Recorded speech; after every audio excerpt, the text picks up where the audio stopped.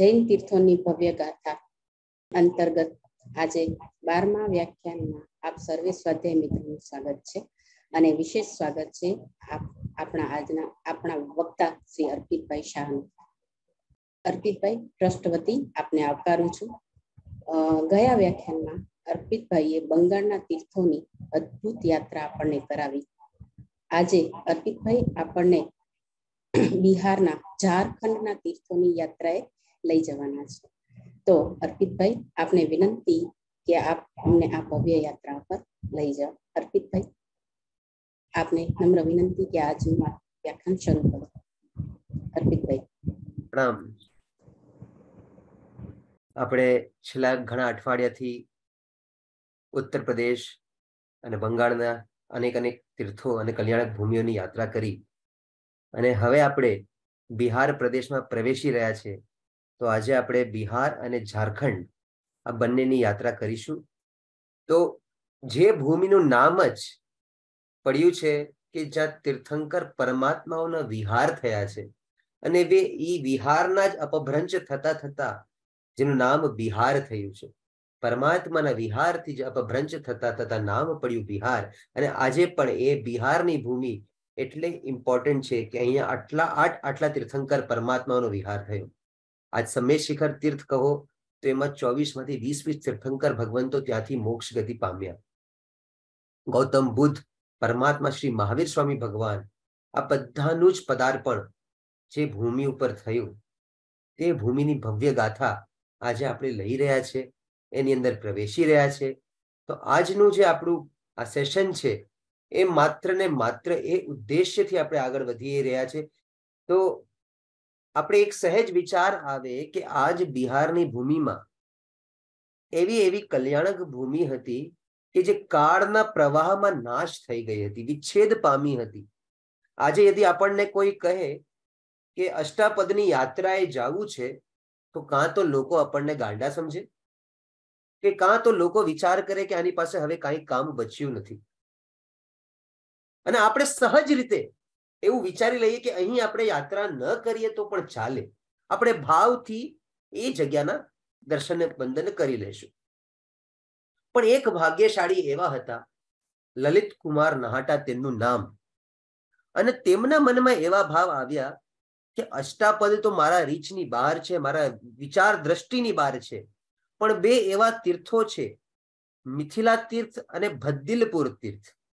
આ બંને વિચ્છેદ પામ્યા હતા. અને આ બંને તીર્થોની શોધ કઈ રીતે કરવી? અને ત્યાં બાકી લોકો પણ કલ્યાણક ભૂમિની યાત્રા કઈ રીતે કરી શકે તેવો વિચાર એમાં નાઇન્ટીન નાઇન્ટી થ્રીમાં આવ્યો. અને એ વિચારમાં ને વિચારમાં તેઓએ આ બે તીર્થોને શોધ પણ કરી અને ત્યાં નવા તીર્થોની સ્થાપના પણ કરી. તો આપણે આજની શરૂઆત મિથિલા તીર્થથી કરશું અને આ મિથિલા તીર્થ એમને કઈ રીતે શોધ્યું અને કઈ રીતે ત્યાં એમને ભવ્ય દેરાસરનું નિર્માણ કરાવ્યું? તેની વાત આજે શરૂ કરશું. એટલે મિથિલા તીર્થ એટલે જ્યાં મલ્લીનાથ પરમાત્મા અને નમીનાથ પરમાત્માના ચાર ચાર કલ્યાણકો, એટલે આઠ કલ્યાણકોની જે ભૂમિ, જે વિચ્છેદ પામી ગઈ હતી, એની શોધ શ્રી લલિત કુમાર નહાટાએજીએ કરી. અને પ્રભુ શ્રી મહાવીર સ્વામી ભગવાનની છ છ ચાતુર્માસની જે ભૂમિનું સૌભાગ્ય આ તીર્થને ભરેલું છે. સ્વાભાવિક રીતે મિથિલાનું અગર આપણને યાદ આવે, તો સીતા માતા જરૂર યાદ આવે. એટલે એમની પણ જન્મભૂમિ રહી ચૂકી છે અને વીર પ્રભુના આઠમા ગણધર અકંપિત સ્વામીની પણ આ જન્મભૂમિ રહી ચૂકી છે. અને મિથિલાના નામે પ્રાચીન જૈન શ્રમણોની શાખા ની પણ એક શાખા હતી જેનું નામ હતું મૈથિલિયા શાખા. એટલે તે શ્રમણોની ઓળખાણ હતી કે આ મૈથિલિયા શાખાના શ્રમણ છે, કેમ કે તે ત્યાંથી બિલોંગ કરતા હતા. તો મિથિલા તીર્થ નેપાલ બોર્ડર પાસે આવ્યું હતું એક સમયમાં. અને જેની શોધ લલિતજીએ કરી. તો ચૌદમાં શતાબ્દીમાં આપણે આજે જેટલા પણ સેશન કર્યા, એમાં બધામાં એક કોમન વાત તો આવી જ હતી, જેને પરબ સુરેશ્વરજી મહારાજાની. તો તેઓ ચૌદમી સદીમાં આ તીર્થનો પણ ઉલ્લેખ કર્યો હતો. અને તેમાં તેઓએ કીધું હતું કે મિથિલા તીર્થ, તિરહુત રાજ્યની બાણગંગા અને ગંડકી નદીના સંગમના કિનારે જગાઈ નામના ગામમાં સ્થિત હતું. ત્યાં મલ્લીનાથ ભગવાન અને નમીનાથ ભગવાનના બબ્બે જિનાલય હતા. અને એ ગામની અંદર સાકુલ્લા કુંડ હતું, ત્યાં સીતા માતાની લગ્ન ભૂમિ હતી. અને સંશોધકોએ જ્યારે આની એનાલિસિસ એનાલિસિસ કરી, તો ત્યારે તેઓએ જાણ્યું કે આ જે ગામ છે જગઈ, એ અત્યારનું જગદીશપુર ગામ છે, જે અત્યારે સીતામઢીના સમીપ છે. આજે વૈદિક માન્યતા પણ એ જ માને છે કે સીતામઢી એ ગામ છે કે જ્યાં પરમાત્મા જ્યાં સીતા માતાનો જન્મ થયો હતો. તો તે રીતે આનો શોધ થઈ. તો સત્તરમી સદીમાં પન્યાશ્રી વિજય, વિજયસાગરજી મહારાજ અને અઢારમી સદીમાં સૌભાગ્ય વિજયજી મહારાજે પણ અહીં પધાર્યા હતા. તેઓએ ચૈત્ય પરિપાટીમાં ઉલ્લેખ કર્યો હતો પોતાની કે અહીં જૈનોની વસ્તી હતી જ નહીં. અને પણ ત્યાં માત્ર ને માત્ર પરમાત્માના ચરણ પાદુકાઓ હતા. એ ચરણ પાદુકા કાળાંતરે ભાગલપુરમાં લઈ જવામાં આવ્યા. આજે પણ ભાગલપુર રેલવે સ્ટેશનની ઠીક સામે શ્વેતાંબર જિનાલય છે અને તે શ્વેતાંબર જિનાલયની અંદર આ બંને ચરણ પાદુકા બિરાજમાને છે જે આપણે સામે દર્શન કરી શકીએ છીએ. તો એ સમયમાં માત્ર ને માત્ર ચણ પાદુકાઓ હતા, જૈનોની વસ્તી ન હતી અને તેના કારણે આ તીર્થ સ્થાન વિચ્છેદ પામ્યું હતું. તો આ બધા જ પુરાવાને ધ્યાનમાં રાખીને લલિત કુમાર નાહટાજીએ આ તીર્થનો પુનરુદ્ધાર કર્યો અને અહીં બે માળનું દેરાસર બનાવ્યું. નેપાલ બોર્ડર સમીપ સીતામઢી ગામમાં ડુમરા માર્ગ ઉપર આ તીર્થનું નિર્માણ થયું. બે માળનું સરસ મજાનું જિનાલય થયું અને એક માળમાં નીચે મલિનાથ ભગવાન ઉપરના માળમાં નમીનાથ ભગવાન એવી સરસ મજાની રચના કરી અને બે હજાર પંદરમાં મહેન્દ્ર સાગરજી મહારાજા દ્વારા અંજન વિધિ થઈ. અને હાલમાં બે હજાર વીસમાં જ ખતરગચના આચાર્ય શ્રી પિયુષ સાગરજી મહારાજ તથા વિનય સાગરજી મહારાજ તપાગચના આ બંને આચાર્યો દ્વારા અહીંની પ્રાણ પ્રતિષ્ઠા થઈ. અને ખાસિયત છે આ જિનાલયની કે તમે દેરાસરની અંદર પ્રવેશ કરો તો કોઈ પણ જાતિ તમને તકતી દેખાશે નહીં. કોઈ પણ ગચ્છ સમુદાયનું નામ નહીં. તો તેઓનો હેતુ હતો લલિત કુમારજીનો કે જિનાલયની અંદર જ્યારે હું પ્રવેશ કરીએ, કોઈ પણ ભાવિક પ્રવેશ કરે, તો ત્યારે એનું ધ્યાન આ બધી બાબતમાં હોવું જ જોઈએ. માત્ર ને માત્ર તેનું ધ્યાન પરમાત્મા તરફ હોય, તો તેમને એવો સરસ મજાનો વિચાર કીધું કે ગર્ભગૃહમાં માત્ર ને માત્ર એક પ્રતિમાજી અને ચારે તરફ ચરણ પાદુકાઓ. બીજી કોઈ પણ પ્રતિમાનું પણ તેમણે નિર્માણ નથી કર્યું કે માત્ર ને માત્ર જે વ્યક્તિ ત્યાં જાય, એ પરમાત્માની અંદર ઓતપ્રોત રહે. તો તે જ આશયથી તેઓએ દેરાસર બનાવ્યું. તો આપણે જોઈ શકીએ છીએ કે આ રંગમંડપથી આપણે પરમાત્માનો ગર્ભગૃહ દેખાય છે, કે ચાર આગળમાં દેરી છે, એ ચાર દેરીની અંદર ચાર ચરણ પાદુકા બિરાજમાન છે અને અંદરમાં ગભારાની અંદર માત્ર ને માત્ર મૂળનાયક પરમાત્મા, બીજી કોઈ પણ પ્રતિમા ત્યાં બિરાજમાન કરવામાં નથી આવી. કે આપણું ધ્યાન માત્ર મૂળનાયક પરમાત્મા ઉપર સ્થિર રહે, તો તે જ આશયથી તેમને આ જિનાલી બનાવ્યું. આ બંને મૂળનાયક પરમાત્મા શ્રી મલ્લીનાથ પરમાત્મા અને નમીનાથ ભગવાનના આપણે દર્શન કરી શકીએ છીએ. નમો જીનાણમ. ત્યાંથી આપણે આગળ વધતા વધતા ભદ્દિલપુર તીર્થ તરફ પ્રયાણ કરીએ. આ પણ તીર્થની શોધ શ્રી લલિત કુમાર નાહટાજીએ કરી હતી. અને આજે આ તીર્થ એટલું અદ્ભુત તીર્થ છે કે એક જ્યારે પણ આપણે આ સંસારિક જીવનથી થાકી ગયા હોય જ્યારે પણ આપણે આ ડેઈલી રોજિંદા લાઈફથી થાકી ગયા હોય અને જ્યારે પણ આ તીર્થમાં જવાનું થાય, ત્યારે મન એટલું સરસ પરમાત્મામય બને છે અને એટલું સરસ નૈસર્ગિક વાતાવરણમાં તીર્થ બનાવેલું છે. એ આ તીર્થની યાત્રા કરવા અવશ્ય આપણે સહુએ જવું જોઈએ.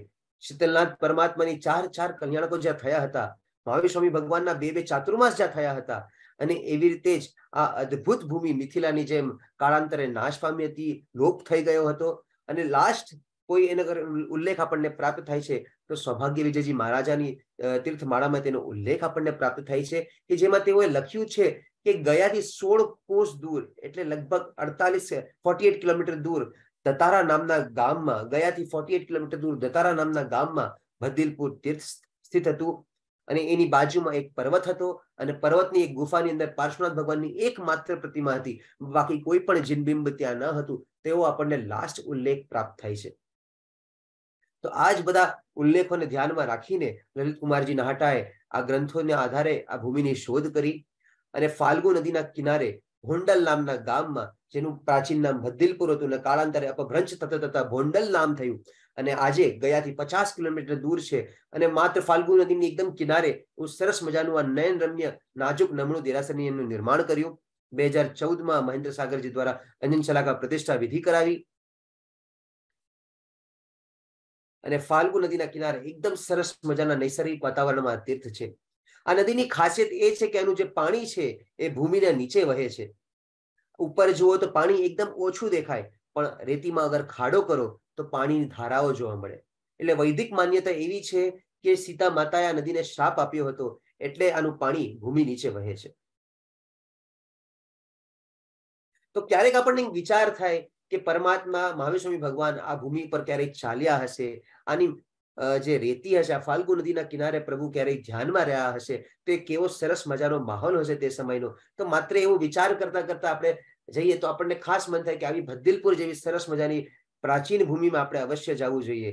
અને એમાં મૂળનાયક શ્રી શીતલનાથ ભગવાનની સુંદર હસમુખી પ્રતિમાના દર્શન થતા જ મનનો જાણે બધો થાક ઉતરી જતો હોય, એવો આમ આભાસ થાય. એવું સરસ મજાની દિવ્ય મનોહર શીતલનાથ પરમાત્માની પ્રતિમાના દર્શન કરીએ અને અહીં પણ મિથિલા તીર્થની જે બીજા કોઈ પણ પરમાત્મા નથી, માત્ર મૂળનાયક પરમાત્માના દર્શન થાય. ચાર કલ્યાણકોની સ્મૃતિ રૂપ ચરણ પાદુકાઓ બિરાજમાન છે અને અધિષ્ઠાયક દેવદેવીની એક નાનકડી પ્રતિમાઓ બિરાજમાન છે. અને આ જિનાલયમાં પણ કોઈ તકતી ગજ સમુદાયનું નામ નથી. આ લલિતજીની સોચ હતી અને સોચ પ્રમાણે તેઓએ બંને તીર્થોનું નિર્માણ કરાવ્યું. અહીં આપણે જોઈ શકીએ છીએ સેમ આપણે જે મિથિલામાં ડિઝાઇન દેખાણી હતી, જે સ્થાપત્ય, જે શિલ્પ ત્યાંનું હતું, તે સેમ શિલ્પ અહીં આપણને જોઈ શકીએ છીએ કે માત્ર ને માત્ર મૂળનાયક પરમાત્મા ગભારાની અંદર અને બારે ચારે તરફ ખાલી ચરણ પાદુકા છે. અહીં તેઓએ ધર્મશાળા આદિ બહુ સરસ વ્યવસ્થા રાખી છે. એટલે જ્યારે પણ આપણું મન થાય તો આપણે અવશ્ય સમય હોય તો આપણે આ ભદ્દિલપુર તીર્થની યાત્રા અવશ્ય કરવા જવું જોઈએ. કેમ કે ઘણીવાર આપણે પંચતીર્થી કરવા જતા હોઈએ, રાજગીરી, પાવાપુરી, આ બધા તીર્થોની સ્પર્શના આપણે અવશ્ય કરતા હોઈએ છીએ. પણ ભદ્દિલપુર જેવું તીર્થ આપણે લગભગ મિસ કરી દઈએ છીએ. તો આપણને અગર ક્યારે પણ આવો અવસર પ્રાપ્ત થાય તો અવશ્ય ભદ્દિલપુર તીર્થની યાત્રાએ જવું જોઈએ. આ ભદ્દિલપુરથી નજીક જ કોલ્હુઆ પર્વત છે. જેમનું, જેમનો ઉલ્લેખ સૌભાગ્ય વિજયજી મહારાજાએ કર્યો હતો. તેમની ચેતી પરિપાટીમાં અને તેમને વાત કરી હતી કે ગુફાની અંદર માત્ર ને માત્ર પાર્શ્વનાથ ભગવાનનું એક બિંબ છે. આ ભૂમિનું પ્રાચીન નામ સાહિત્યક વન હતું અને આ જ ભૂમિ ઉપર શ્રી શીતલનાથ પરમાત્માનું કેવળ જ્ઞાન થયું હતું. ઉપર અગર પહાડ ઉપર ચડવાથી એક સીડીઓ આવે સીડી વાળો રસ્તો છે અને સીડીની ઉપર જ્યાં સીડીઓ ખતમ થાય છે, ત્યાં કુલેશ્વરી દેવીનું મંદિર છે.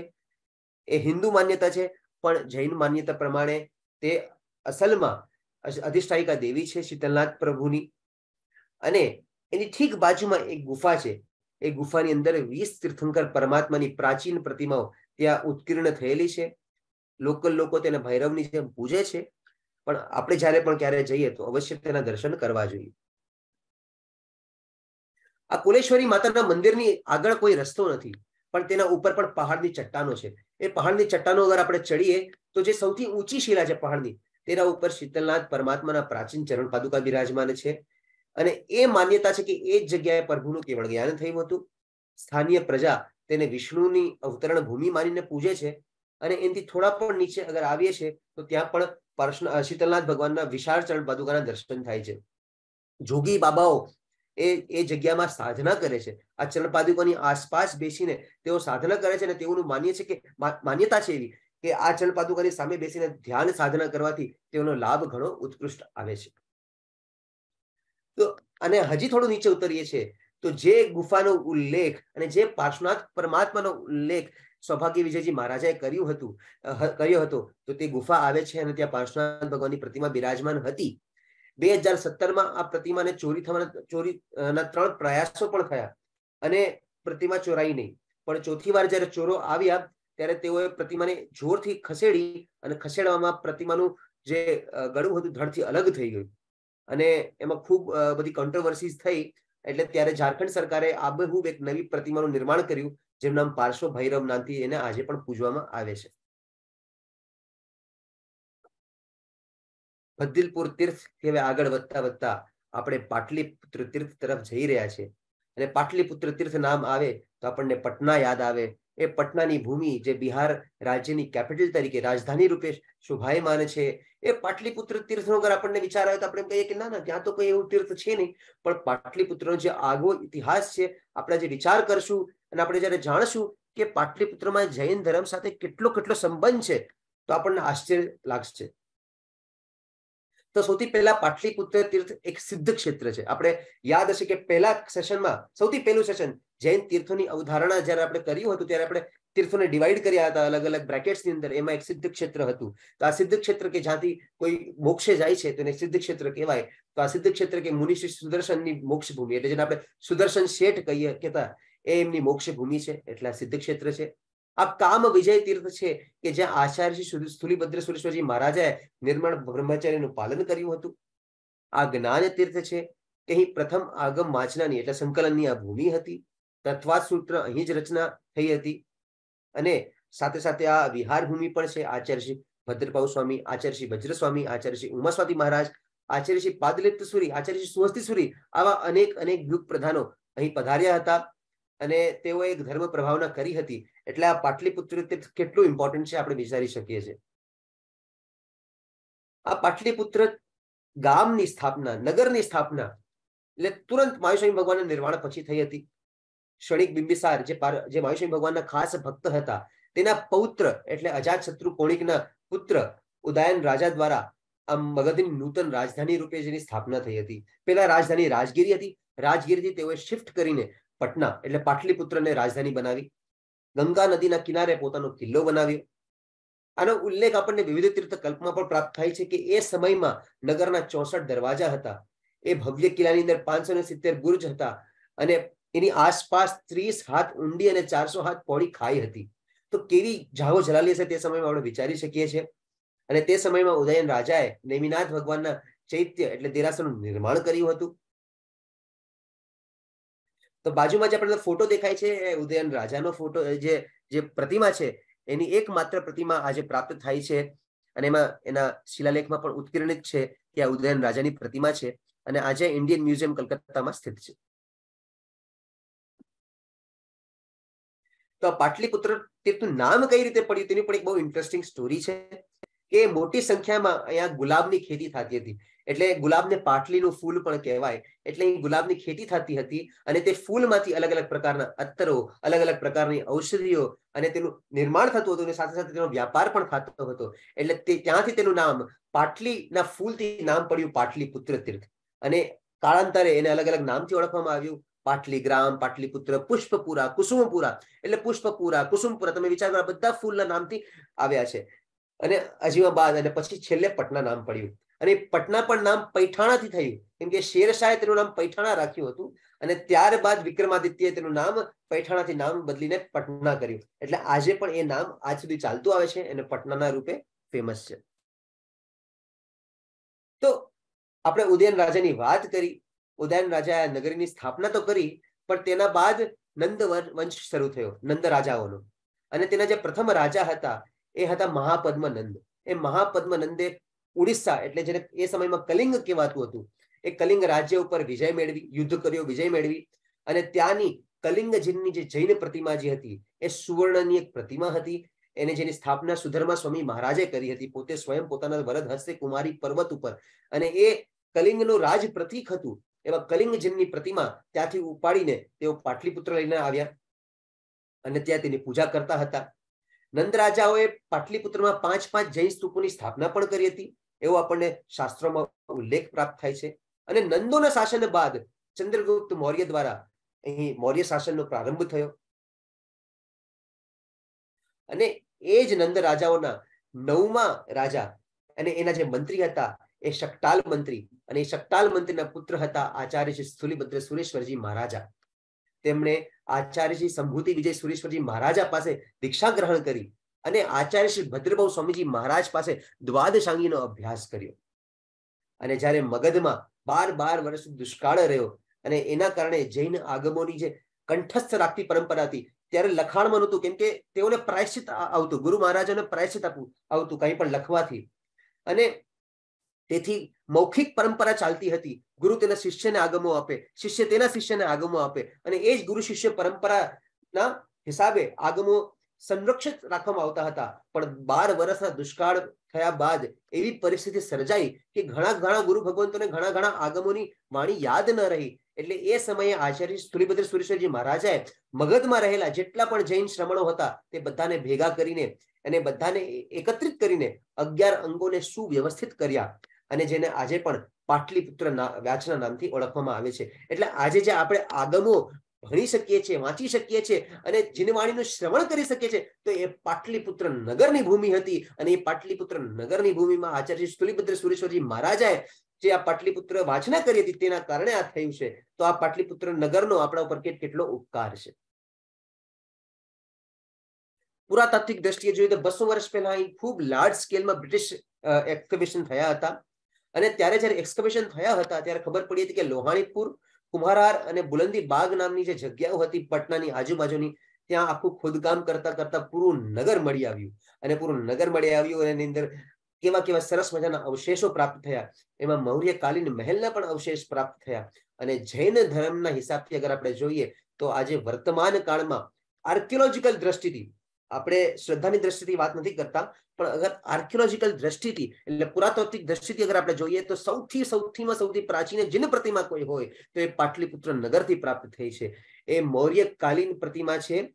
અને એ આજના ટાઈમમાં આર્કિયોલોજિસ્ટ અને સ્કોલર્સ આને સૌથી પ્રાચીન જૈન પ્રતિમા માને છે અને લોહાણીપુર ટોર્સો નામથી ફેમસ છે આ શિલ્પ સ્થાપત્ય. એનો ફોટો આપણે જમણી તરફમાં જોઈ શકીએ છીએ. આની અંદર બહુ ફેમસ મોરિયન પોલિશ કરવામાં આવી છે કે આજ દિવસ સુધી એની પોલિશ અકબંધ છે. એ સમયમાં પોલિશ કરેલો હશે. એ આજ દિવસ સુધી તેનો પોલિશ અકબંધ છે એવો આપણે જોઈ શકીએ છીએ. અને આ લગભગ થર્ડ સેન્ચુરી બીસીની પ્રતિમા છે. એટલે આર્કિયોલોજીકલી સૌથીમાં સૌથી પ્રાચીન પ્રતિમા આ છે.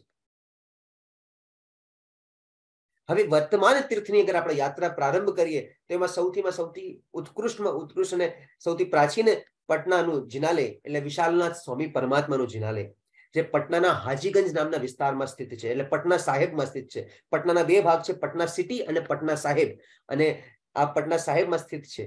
અને અને મૂળનાયક છે મહાદેવ ક્ષેત્રના વિહારમાન તીર્થંકર શ્રી વિશાલનાથ સ્વામી ભગવાન. સત્તરમી સદીમાં આગ્રાના કુંવરપાલ, સોનપાલ, લોઢા અહીં પધાર્યા હતા. આપણે સેશન વનથી તેમની વાતો કરીએ છીએ.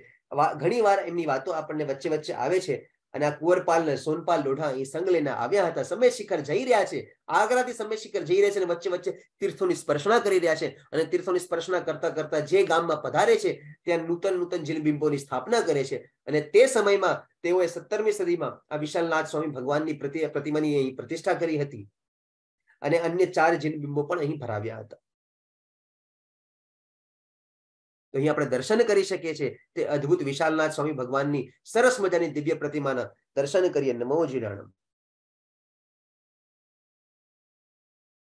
એમની સાથે સાથે તેમને અલગ અલગ જીનબિંબો પણ ભરાવ્યા. અહીં આપણે જોઈ શકીએ છીએ કે પાર્શ્વનાથ ભગવાનની કેવી સરસ મજાની નાજુક નમણી, સરસ મજાની આરસ પાષાણમાં ભરાવેલી પ્રતિમાને તેઓએ સ્થાપના કરી હતી.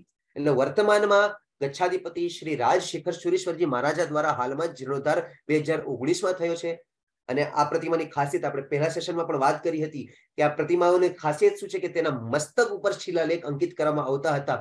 કેમ? કેમ કે ત્યાં એ સમયના સ્થાનિક મુગલ બાદશાહો, રાજાઓ ને એવું મનમાં થતું કે અમારું નામ ભગવાનના નીચે કેમ હોય? પબાસણની નીચે કેમ હોય? એટલે તેઓનું માન સાચવવા માટે પરમાત્માના મસ્તક ઉપર એમના નામ કંડારવામાં આવતા હતા. અને હજી એક પણ તેનું કારણ હતું કે તેમના નામ અગર મસ્તક ઉપર કંડારેલા હોય તો કોઈ પણ મુગલ સેનાની તેના ઉપર આક્રમણ ન કરતું. એટલે આપણા પ્રતિમાજી પણ તે સમયે સુરક્ષિત રહેતા. તો તેનું આપણે એક દ્રશ્ય જોઈ શકીએ છીએ. લેખ ખૂબ આછો છે. ધ્યાનથી જોશું તો આપણને લેખ દેખાશે. અહીં જહાંગીરનું નામ ઉત્કીર્ણ છે આ ભગવાનની પ્રતિમા ઉપર. પણ બહુ જ આછો થઈ ગયો છે લેખ. કેમ કે યુઝ્યુઅલી આપણે પરમાત્માનો અભિષેક કરીએ તો મસ્તકથી એની ધારા વહે. એટલે કાળના પ્રભાવે આ લેખ એકદમ જ ઓછો થઈ ગયો છે, પણ અગર આપણે ધ્યાનથી જોશું, તો એમાં સંવત અને જહાંગીરનું નામ બંને ઉત્કીર્ણ કરેલું છે. આ વિશાલનાથ સ્વામી ભગવાન, મૂળનાયક ભગવાનની જે પ્રતિમા છે, તેના ઉપરનો લેખ છે. આ તીર્થની હજી એક ખાસિયત છે કે અહીં ત્રણ પ્રતિમા એવી પ્રાપ્ત થઈ છે, જે પંદરસો વર્ષથી વધારે પ્રાચીન ગુપ્તકાલીન પ્રતિમાઓ છે. અને એમાંથી ત્રણ પ્રતિમાઓમાંથી બે પ્રતિમા તો એવી છે, જે પૂરી સંપૂર્ણપણે સવસ્ત્ર છે. એટલે યુઝ્યુઅલી અગર આપણે શ્વેતાંબર પ્રતિમામાં જોઈએ તો માત્ર કટીસૂત્ર કછોટો કંડારેલો હોય. એટલે નીચેનો ભાગમાં વસ્ત્ર દેખાય, પણ ઉપરથી લઈને નીચે સુધી સંપૂર્ણપણે વસ્ત્રધારી પ્રતિમાઓ આપણને દેખાય નહીં. તો એમાં બે પ્રતિમાઓ, એટલે પાર્શનાથ ભગવાનની અને અભિનંદન સ્વામી ભગવાનની જે પ્રતિમાઓ છે, એ સંપૂર્ણપણે સવસ્ત્ર છે. પાર્શ્વનાથ ભગવાનની પ્રતિમા અગર આપણે જોઈએ, જે વચ્ચો વચ્ચ સ્થિત છે, એના નીચે ધર્ણેન્દ્ર અને પદ્માવતી બંને હાથ જોડેલા છે, એવી સરસ મજાનું શિલ્પાંકન કરેલું છે. અને આ કયા સમયથી અહીં પ્રતિમા પૂજાય છે એ કોઈ પાસે ઉલ્લેખ નથી. પણ ખૂબ જ પ્રાચીન છે જે એનો જે શિલાલેખ છે એ પંદરસો વર્ષ પ્રાચીન છે. પણ આ દેરાસરમાં કેવી રીતે આવી, ક્યાંથી આવી તેનો કોઈ ઉલ્લેખ આપણને પ્રાપ્ત થતો નથી. એમાં એક ખૂબ જ સંશોધકો અને અમુક ગુરુ ભગવંતો એક શંકા જતાવે છે કે અભિનંદન સ્વામીની જે પ્રતિમા છે, અગર આપણે જોઈએ પહેલા જોઈએ તો જમણી તરફમાં એકદમ રાઈટ હેન્ડ સાઈડમાં જે પ્રતિમા છે એ અભિનંદન સ્વામી ભગવાનની પ્રતિમા છે. તો એના માટે એક શંકા જાગે છે, ઘણા ગુરુ ભગવંતોના મનમાં એક શંકા છે કે આ જૈન પ્રતિમા નહીં પણ એક બૌદ્ધ પ્રતિમા હોઈ શકે. કેમ? કેમ કે પ્રતિમાના હાથમાં એક કટોરો છે. અત્યારે અગર ત્યાં તીર્થમાં જઈએ તો લોકો કહેશે કે પરમાત્માના હાથમાં બીજોરું છે. પણ અગર ધ્યાનથી જોઈએ તો એક કટોરો છે. અને કટોરો છે અને જે લાંછન છે એ અભિનંદન સ્વામી ભગવાનનું વાનર લાંછન છે. પણ એ વાનરના હાથમાં પણ એક કટોરો છે. બૌદ્ધ સંપ્રદાયમાં એવી માન્યતા છે કે વૈશાલી નામના નગરમાં ગૌતમ બુદ્ધને એક વાનરે કટોરામાં મધ આપીને પાણું કરાવ્યું હતું. અને એનું ઘણા બધી સ્ટોરીઝ એનો સ્પષ્ટ ઉલ્લેખ છે. એટલે ગુરુ ભગવંતોની એવી માન્યતા છે કે કદાચ આ એક બૌદ્ધ પ્રતિમા હોઈ શકે. કેમ કે આની અંદર જેટલા પણ શિલ્પ લક્ષણો છે એ પણ બૌદ્ધ છે. અને એની અંદરમાં એક શ્લોક પણ લખેલો છે, કંડારેલો છે, યે ધર્મ હેતુ પ્રભાવા. આ પણ એક બૌદ્ધ શ્લોક છે. એટલે એક એવી માન્યતા છે કે કદાચ આ પ્રતિમા જૈન નહીં, પણ બૌદ્ધ પ્રતિમા હોઈ શકે. તો આ પ્રતિમાને અગર આપણે ધ્યાનથી જોઈએ, એની સાથે સાથે એની બાજુમાં જ મેં બીજી બૌદ્ધ પ્રતિમા રાખી છે, જે અત્યારે ઇન્ડિયન મ્યુઝિયમ કેલ્કેટામાં સ્થિત છે. અને બેને અગર આપણે કમ્પેરેટિવલી એનું અંકન કરીએ, તો આપણને જોઈએ છે કે ઘણી બધી સિમિલારિટીઝ છે. આ પ્રતિમાના મસ્તક ઉપર મુગટ અને હાર પણ કોતરવામાં આવે છે. પરિકરમાં જોઈએ તો બંને બાજુ પિરામિડ જેવા આકાર છે. આ બંને તરફ અગર આપણે જોઈએ તો પિરામિડના આકાર છે, જે બૌદ્ધ શિલ્પમાં પ્રાય જોવા મળે. એટલે એક આવો શંકા જાગે છે કે કદાચ આ બૌદ્ધ પ્રતિમા હોઈ શકે, પણ જે આચાર્ય હેમરત્ન સુરેશ્વરજી મહારાજાએ તેમની પુસ્તકમાં લખેલું છે કે ના, આ પ્રતિમા છે તો જૈન જ, પણ માત્ર એની અંદર બૌદ્ધ શિલ્પ કલાના લક્ષણ વિદ્યમાન છે. હવે તત્વ કેવલી ગમ્ય છે? પણ ઘણા ગુરુ ભગવંતના બે અલગ અલગ પ્રકારના મતો છે. તત્વ કેવલી ગમ્ય છે? પણ આપણે જયારે પણ જઈએ તો આની ખાલી શિલ્પકળા દ્રષ્ટિએ જોઈએ તો ખૂબ જ આગવી છે. બીજી જે પ્રતિમા પ્રાપ્ત થઈ છે, પહેલી આપણે પાર્શ્વનાથ ભગવાનની પ્રતિમા જોઈ, પછી અભિનંદન સ્વામી ભગવાનની પ્રતિમા જોઈ, અને ત્રીજી પ્રતિમા ઋષભદેવ ભગવાનની સરસ મજાની અદભુત પ્રતિમા છે. બંને તરફ અગર આપણે જોઈએ તો યુઝ્યુઅલી આપણને પ્રતિમામાં અગર પરમાત્માની પ્રતિમા જોઈએ તો આપણને દેખાય કે બંને તરફ જે ચામરધારી હોય તે ઇન્દ્ર હોય, પણ અહીં ઇન્દ્રાણીઓને બનાવવામાં આવી છે. એટલે અગેન શિલ્પકળા હિસાબથી ખૂબ જ એક નવી વસ્તુ કહી શકાય. ઉપરમાં જોઈએ પરિકરમાં તો પુષ્પમાળા લઈને આવતા દેવો છે. અને પરમાત્માનો નીચેનો જે ભાગ છે, પબાસણની અંદર ધર્મચક્ર અને બે ઋષભ કંડારેલા છે. અને આમાં એકદમ જે બહુ વિશિષ્ટ વાત છે, જે મેં કોઈ બીજા પરિકરમાં નથી જોઈ, કદાચ હોઈ શકે બીજા પરિકરો પર, પણ આમાં ખૂબ એક વિશિષ્ટ વાત છે કે બે હાથ બનાવેલા છે અને બે હાથની વચ્ચોમાં ઢોલ છે. અગર આપણે ફોટાને ધ્યાનથી જોઈએ અહીં અને અહીં બંને તરફ આપણે જોઈ શકીએ છીએ કે બે હાથ બનાવેલા છે, માત્ર બે હાથ. અને ઢોલ વગાડી રહ્યા છે તે હાથ. એટલે દેવ દુંધવી વગાડી રહ્યા છે દેવો. તેનું પણ આ સરસ મજાનું દ્રશ્ય. એટલે દેવો નથી બનાવેલા, પણ માત્ર તેમના હાથો બનાવેલા છે. અને હાથની અંદર આપણે જોઈએ તો તેઓ ઢોલક એટલે દેવ દુંધવી વગાડી રહ્યા છે. કલ્પવૃક્ષોની પાખડીઓ પણ ઉત્કીર્ણ કરેલી છે. એટલે આ શિલ્પ કળાની દ્રષ્ટિએ પણ બહુ અદભુત શિલ્પ છે. આ દેરાસરની અંદર અલગ અલગ બે વિશિષ્ટ શિલ્પો છે જે મને ખાસ કહેવાનું મન થાય છે. એક છે ત્રિશલા માતાની ની છબી. એક આરસ પાષાણની અંદર સરસ મજાનું એક સ્લેબ બનાવેલો છે જેની પૂજા થાય છે. એમાં વચ્ચે ત્રિશલા માતા છે. એ ત્રિશલા માતાની ચારે તરફ તકિયાઓ છે. એટલે ત્રિશલા માતા શયન કરી રહ્યા છે. અને એની ચારે બાજુ ચૌદ સ્વપ્ના છે. તીર્થ, તીર્થંકર જયારે ચવન કલ્યાણક થઈ રહ્યું છે ત્યારે માતાને ચૌદ સ્વપ્ન આવી રહ્યા છે. તેવું સરસ મજાનું દ્રશ્ય આની અંદર કંડારવામાં આવ્યું છે. આ અઢારમી સદીનો આ શિલ્પ સ્થાપત્ય છે. અને ડાબી તરફમાં ભોમિયાજી મહારાજની એક એક શું કહેવાય, પ્રતિમા છે. અને પ્રતિમાની અંદર એક ખાસિયત એ છે કે એની અંદરમાં જે મુખડું બનાવેલું છે તે ચાંદીનું બનાવેલું છે. એટલે ખૂબ સરસ મજાનું આ શિલ્પ છે. એને જોઈ શકે કેમ કે યુઝ્યુઅલી આપણને આવી પ્રતિમાઓ જોવા ન મળે. આ દેરાસરની હજી એક બહુ સરસ ખાસિયત છે કે આ દેરાસરની ઠીક પાછળ અને દિવાલની એકદમ ઠીક પાછળ શીખોનું પ્રખ્યાત તખ્ત શ્રી હરમંદિર સાહેબ છે. એટલે આ શીખો માટે પણ બહુ ઇમ્પોર્ટન્ટ તીર્થભૂમિ છે. એટલે સત્તરમી સદીમાં તેમના દસમા ધર્મગુરુ જે ગુરુ ગોવિંદ સિંહ હતા, તેમનો જન્મ આ જ ભૂમિ પર થયો હતો. એ ગુરુ ગોવિંદ સિંહની માતા મુઘલ સામ્રાજ્યથી નાસી ગયેલી હતી, ભાગીને અહીં અહીંયા આવી હતી અને જૈન પરિવાર, જોહરીનો જૈન પરિવારે એમને આશ્રય આશ્રય આપેલો, એમના ઘરમાં આશ્રય આપેલો અને અહીં તેમનો જન્મ થયો હતો. અને પછી શીખોએ આ ભૂમિ જૈનોથી ખરીદી અને ત્યાં પોતાના ગુરુદ્વારાનું નિર્માણ થયું. તો આપણે આપણા દેરાસરોમાં જઈએ ને, તો આપણને તકતીઓ ચારે બાજુ દેખાય. પણ ગુરુ, ગુરુદ્વારાની એક નિયમ છે કે ત્યાં કોઈ પણ તકતી ના હોય. પણ આ ગુરુદ્વારામાં એક એક્સેપ્શન છે. આ એક્સેપ્શન એ છે કે અહીં જૈન સમાજ દ્વારા આ દાન આપવામાં આવી છે, આ જગ્યા, તેનું પણ એક લેખ કરવામાં, જે એક આશ્ચર્ય વાત છે. અને આજે પણ આ ગુરુદ્વારાની અંદર જે દોહા ગવાય છે, એ દોહાની અંદર પણ બે દોહા એવા છે જેમાં ઉલ્લેખ કરવામાં આવ્યો છે કે જૈન પરિવારે આ ભૂમિ દાનમાં આપી હતી અને અહીં જ ગુરુ ગોવિંદસિંહનો જન્મ થયો હતો, એટલે આ જૈન ધર્મ સાથે પણ આ સંકળાયેલી ભૂમિ છે.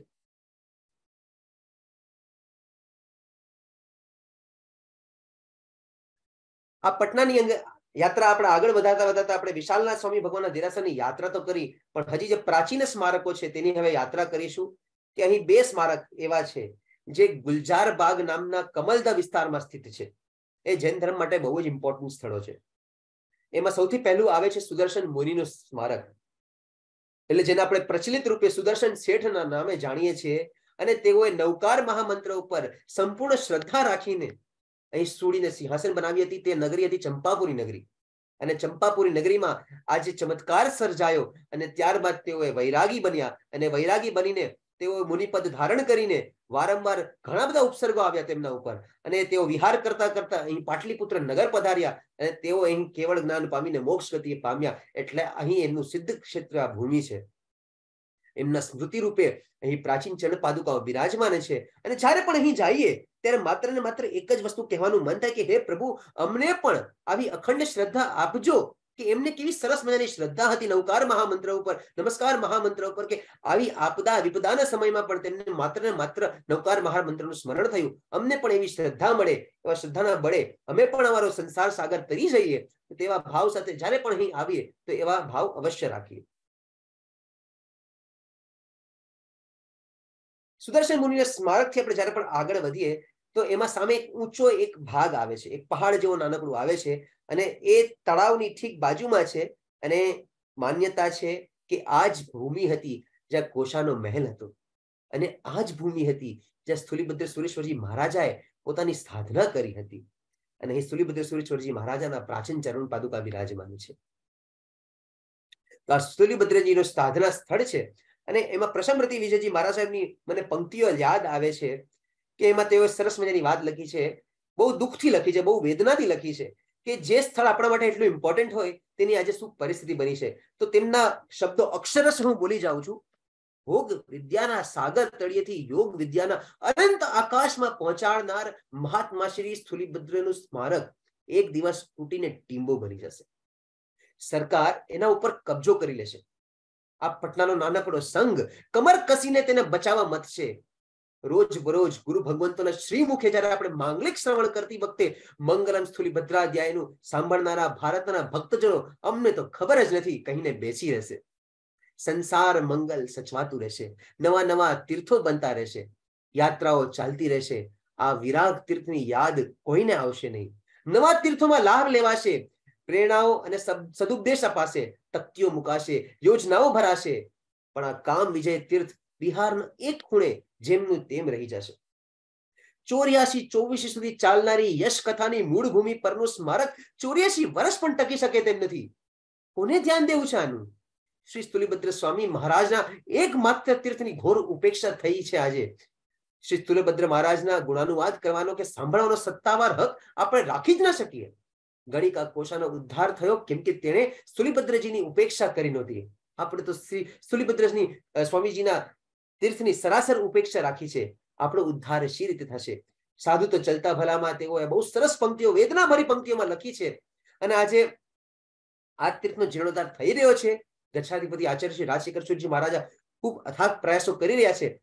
પણ એક સમય એવો હતો કે આ તીર્થો જૈન ધર્મના એક અલગ સંપ્રદાયના હાથમાં વયા ગયા હતા. કોર્ટમાં કેસો ચાલ્યા હતા અને ખૂબ મહેનતથી શ્વેતાંબર સંઘ પાસે આ ભૂમિ પાછી આવી. અને આની હાલત ખૂબ જ ખરાબ છે. બસ ભગવાનને એવી પ્રાર્થના કરી કે વહેલી તકે આનો જીર્ણોદ્ધાર થાય અને નવા જિનાલયની અંદર આપણે જે ગરિમા, ઉપયુક્ત ગરિમા આ તીર્થને પ્રાપ્ત થાય તેવા ભાવ સાથે હવે આપણે આગળ દર્શન કરીશું. દાદાવાડીના, આ પાટલીપુત્ર તીર્થની અંદર એક દાદાવાડી છે, જે બેગમપુર નામના વિસ્તારમાં સ્થિત છે. એમ તો આ દાદાવાડી ચારસો વર્ષ પ્રાચીન છે, પણ એની ખાસિયત એ છે કે એમાં જીનચંદ્ર સૂર્યછોડજીને ખતરગચી દાદા ગુરુદેવના ચરણ પાદુકા તો છે જ. પણ એની ખાસિયત એ છે કે અહીં એક સાધુજી ભગવંતના ચરણ પાદુકા છે, જેમને આ દાદાવાડી બનાવવાની પ્રેરણા આપી હતી. કે પ્રાય આપણને સાધુજી ભગવંતના ચરણ પાદુકા આપણને કઈ દેખાય નહીં, પણ આ એક યુનિકનેસ છે કે અહીં આપણને એમના ચરણ પાદુકાની પૂજા દર્શન કરવાનો લાભ મળે છે. અહીં એક સરસ મજાનો બગીચો છે. આ બગીચાની અંદર અલગ અલગ સેક્શન બનાવેલા છે અને એ સેક્શનની અંદર નામો લખેલા છે કે આ ક્ષત્રિય કુંડ તીર્થ. તો આજે ક્ષત્રિય કુંડ તીર્થ છે, તો એની માંથી ભૂમિ લઈને આવ્યા છે અને તેની ભૂમિ ઉપર એમાં ઝાડ પાન રોપ્યા છે. એટલે આપણે ખૂબ અલગ નવી વસ્તુ છે કે એને બગીચાની અંદર અલગ અલગ પ્રાચીન તીર્થ સ્થળોની માટી રાખવામાં આવી છે અને એ માટી ઉપર વટવૃક્ષો ઊભા થયા છે. હવે આપણે ત્યાંથી પ્રયાણ કરીને, પાટલીપુત્ર તીર્થથી પ્રયાણ કરીને આપણે ક્ષત્રિય કુંડ તીર્થ તરફ જઈ જઈ રહ્યા છે. પણ ક્ષત્રિય કુંડ તીર્થની વાત કરતા પહેલા આપણે ક્ષત્રિય તીર્થના યાદ આવે તો આપણને પરમાત્મા મહાવીર સ્વામી ભગવંત યાદ આવે અને તેમના ત્રણ કલ્યાણક યાદ આવે. પણ સૌથી ખરાબ વસ્તુ આપણા જેને શાસનની આજે એ તકલીફ આવી ગઈ છે કે આજે આપણા સૌથી છેલ્લા તીર્થંકર એટલે શ્રમણ ભગવાન શ્રી મહાવીર સ્વામી ભગવાન જે સૌથી છેલ્લા તીર્થંકર એટલે આપણે સૌથી નજીક જેને કહેવાય, તેમની કલ્યાણક ભૂમિઓ વિવાદમાં છે. આજે અલગ અલગ સંપ્રદાયની લઈને અલગ અલગ માન્યતાઓ છે. આજે આપણે જોઈએ તો પરમાત્મા મહાવિષ્ણુ ભગવાનના બધા જ કલ્યાણક ભૂમિઓ વિવાદમાં છે. એટલે આ પાંચે પાંચ કલ્યાણક ભૂમિ છે ક્યાં? એમાં અલગ અલગ સંપ્રદાયના અલગ અલગ મત છે. એટલે આજે આ પરમાત્માની જન્મભૂમિ કઈ છે તેનું આપણે આજે વિચારણા કરશું. તો શાસ્ત્ર અનુસાર આપણને નામ મળે છે કુંડપુર, કે જ્યાં પરમાત્માનો ચવન જન્મ અને દીક્ષા થઈ હતી. તો કુંડપુરની શોધમાં હવે આપણે નીકળવાનું છે. અને શાસ્ત્રની ભાષામાં અગર આપણે વાંચીએ, તેમાં તેઓ લખેલું છે કે કુંડપુર જમ્બુ દ્વીપની મધ્યમાં ભારત ક્ષેત્રના ઉત્તર ભાગમાં સ્થિત હતું. અહીં સિદ્ધાર્થ રાજાનું શાસન હતું. આ નગરના બે ભાગ હતા. અને પૂર્વમાં બ્રાહ્મણ કુંડ ગ્રામ હતું પશ્ચિમમાં ક્ષત્રિય કુંડ ગ્રામ હતું. એ ક્ષત્રિય કુંડ ગ્રામ જે હતું, તે રાજધાની હતી કુંડ ગ્રામ કુંડપુરની. અને એની મધ્યમાં મંદિરો, બગીચાઓ, તળાવોની વચ્ચેમાં સરસ મજાનો વિશાળ મહેલ હતો.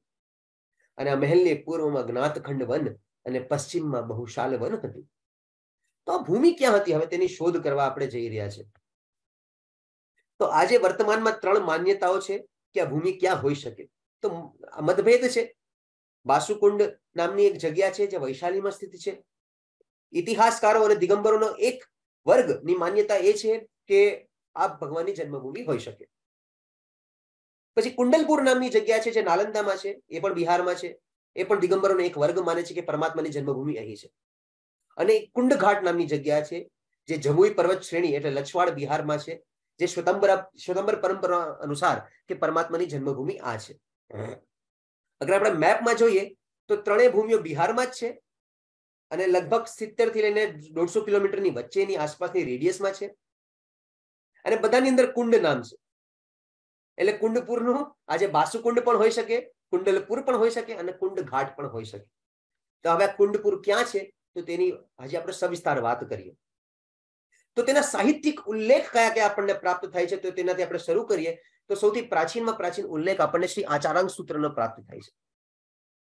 હવે આચારાંગ સૂત્રમાં વર્ણન છે કે ખત્ય કુંડપુર સન્નિવેશમસી એટલે ક્ષત્રિય કુંડપુર સન્નિવેશ, આ ભૂમિનું નામ. કલ્પસૂત્રમાં ખત્ય કુંડ ગામ નયર, એટલે ક્ષત્રિય કુંડ ગ્રામ નગર. તિલોય પન્નતી દિગંબર ગ્રંથ છે, ત્યાં કુંડલપુર નામ છે. ધવલ ટીકામાં પણ કુંડલપુર નામ છે.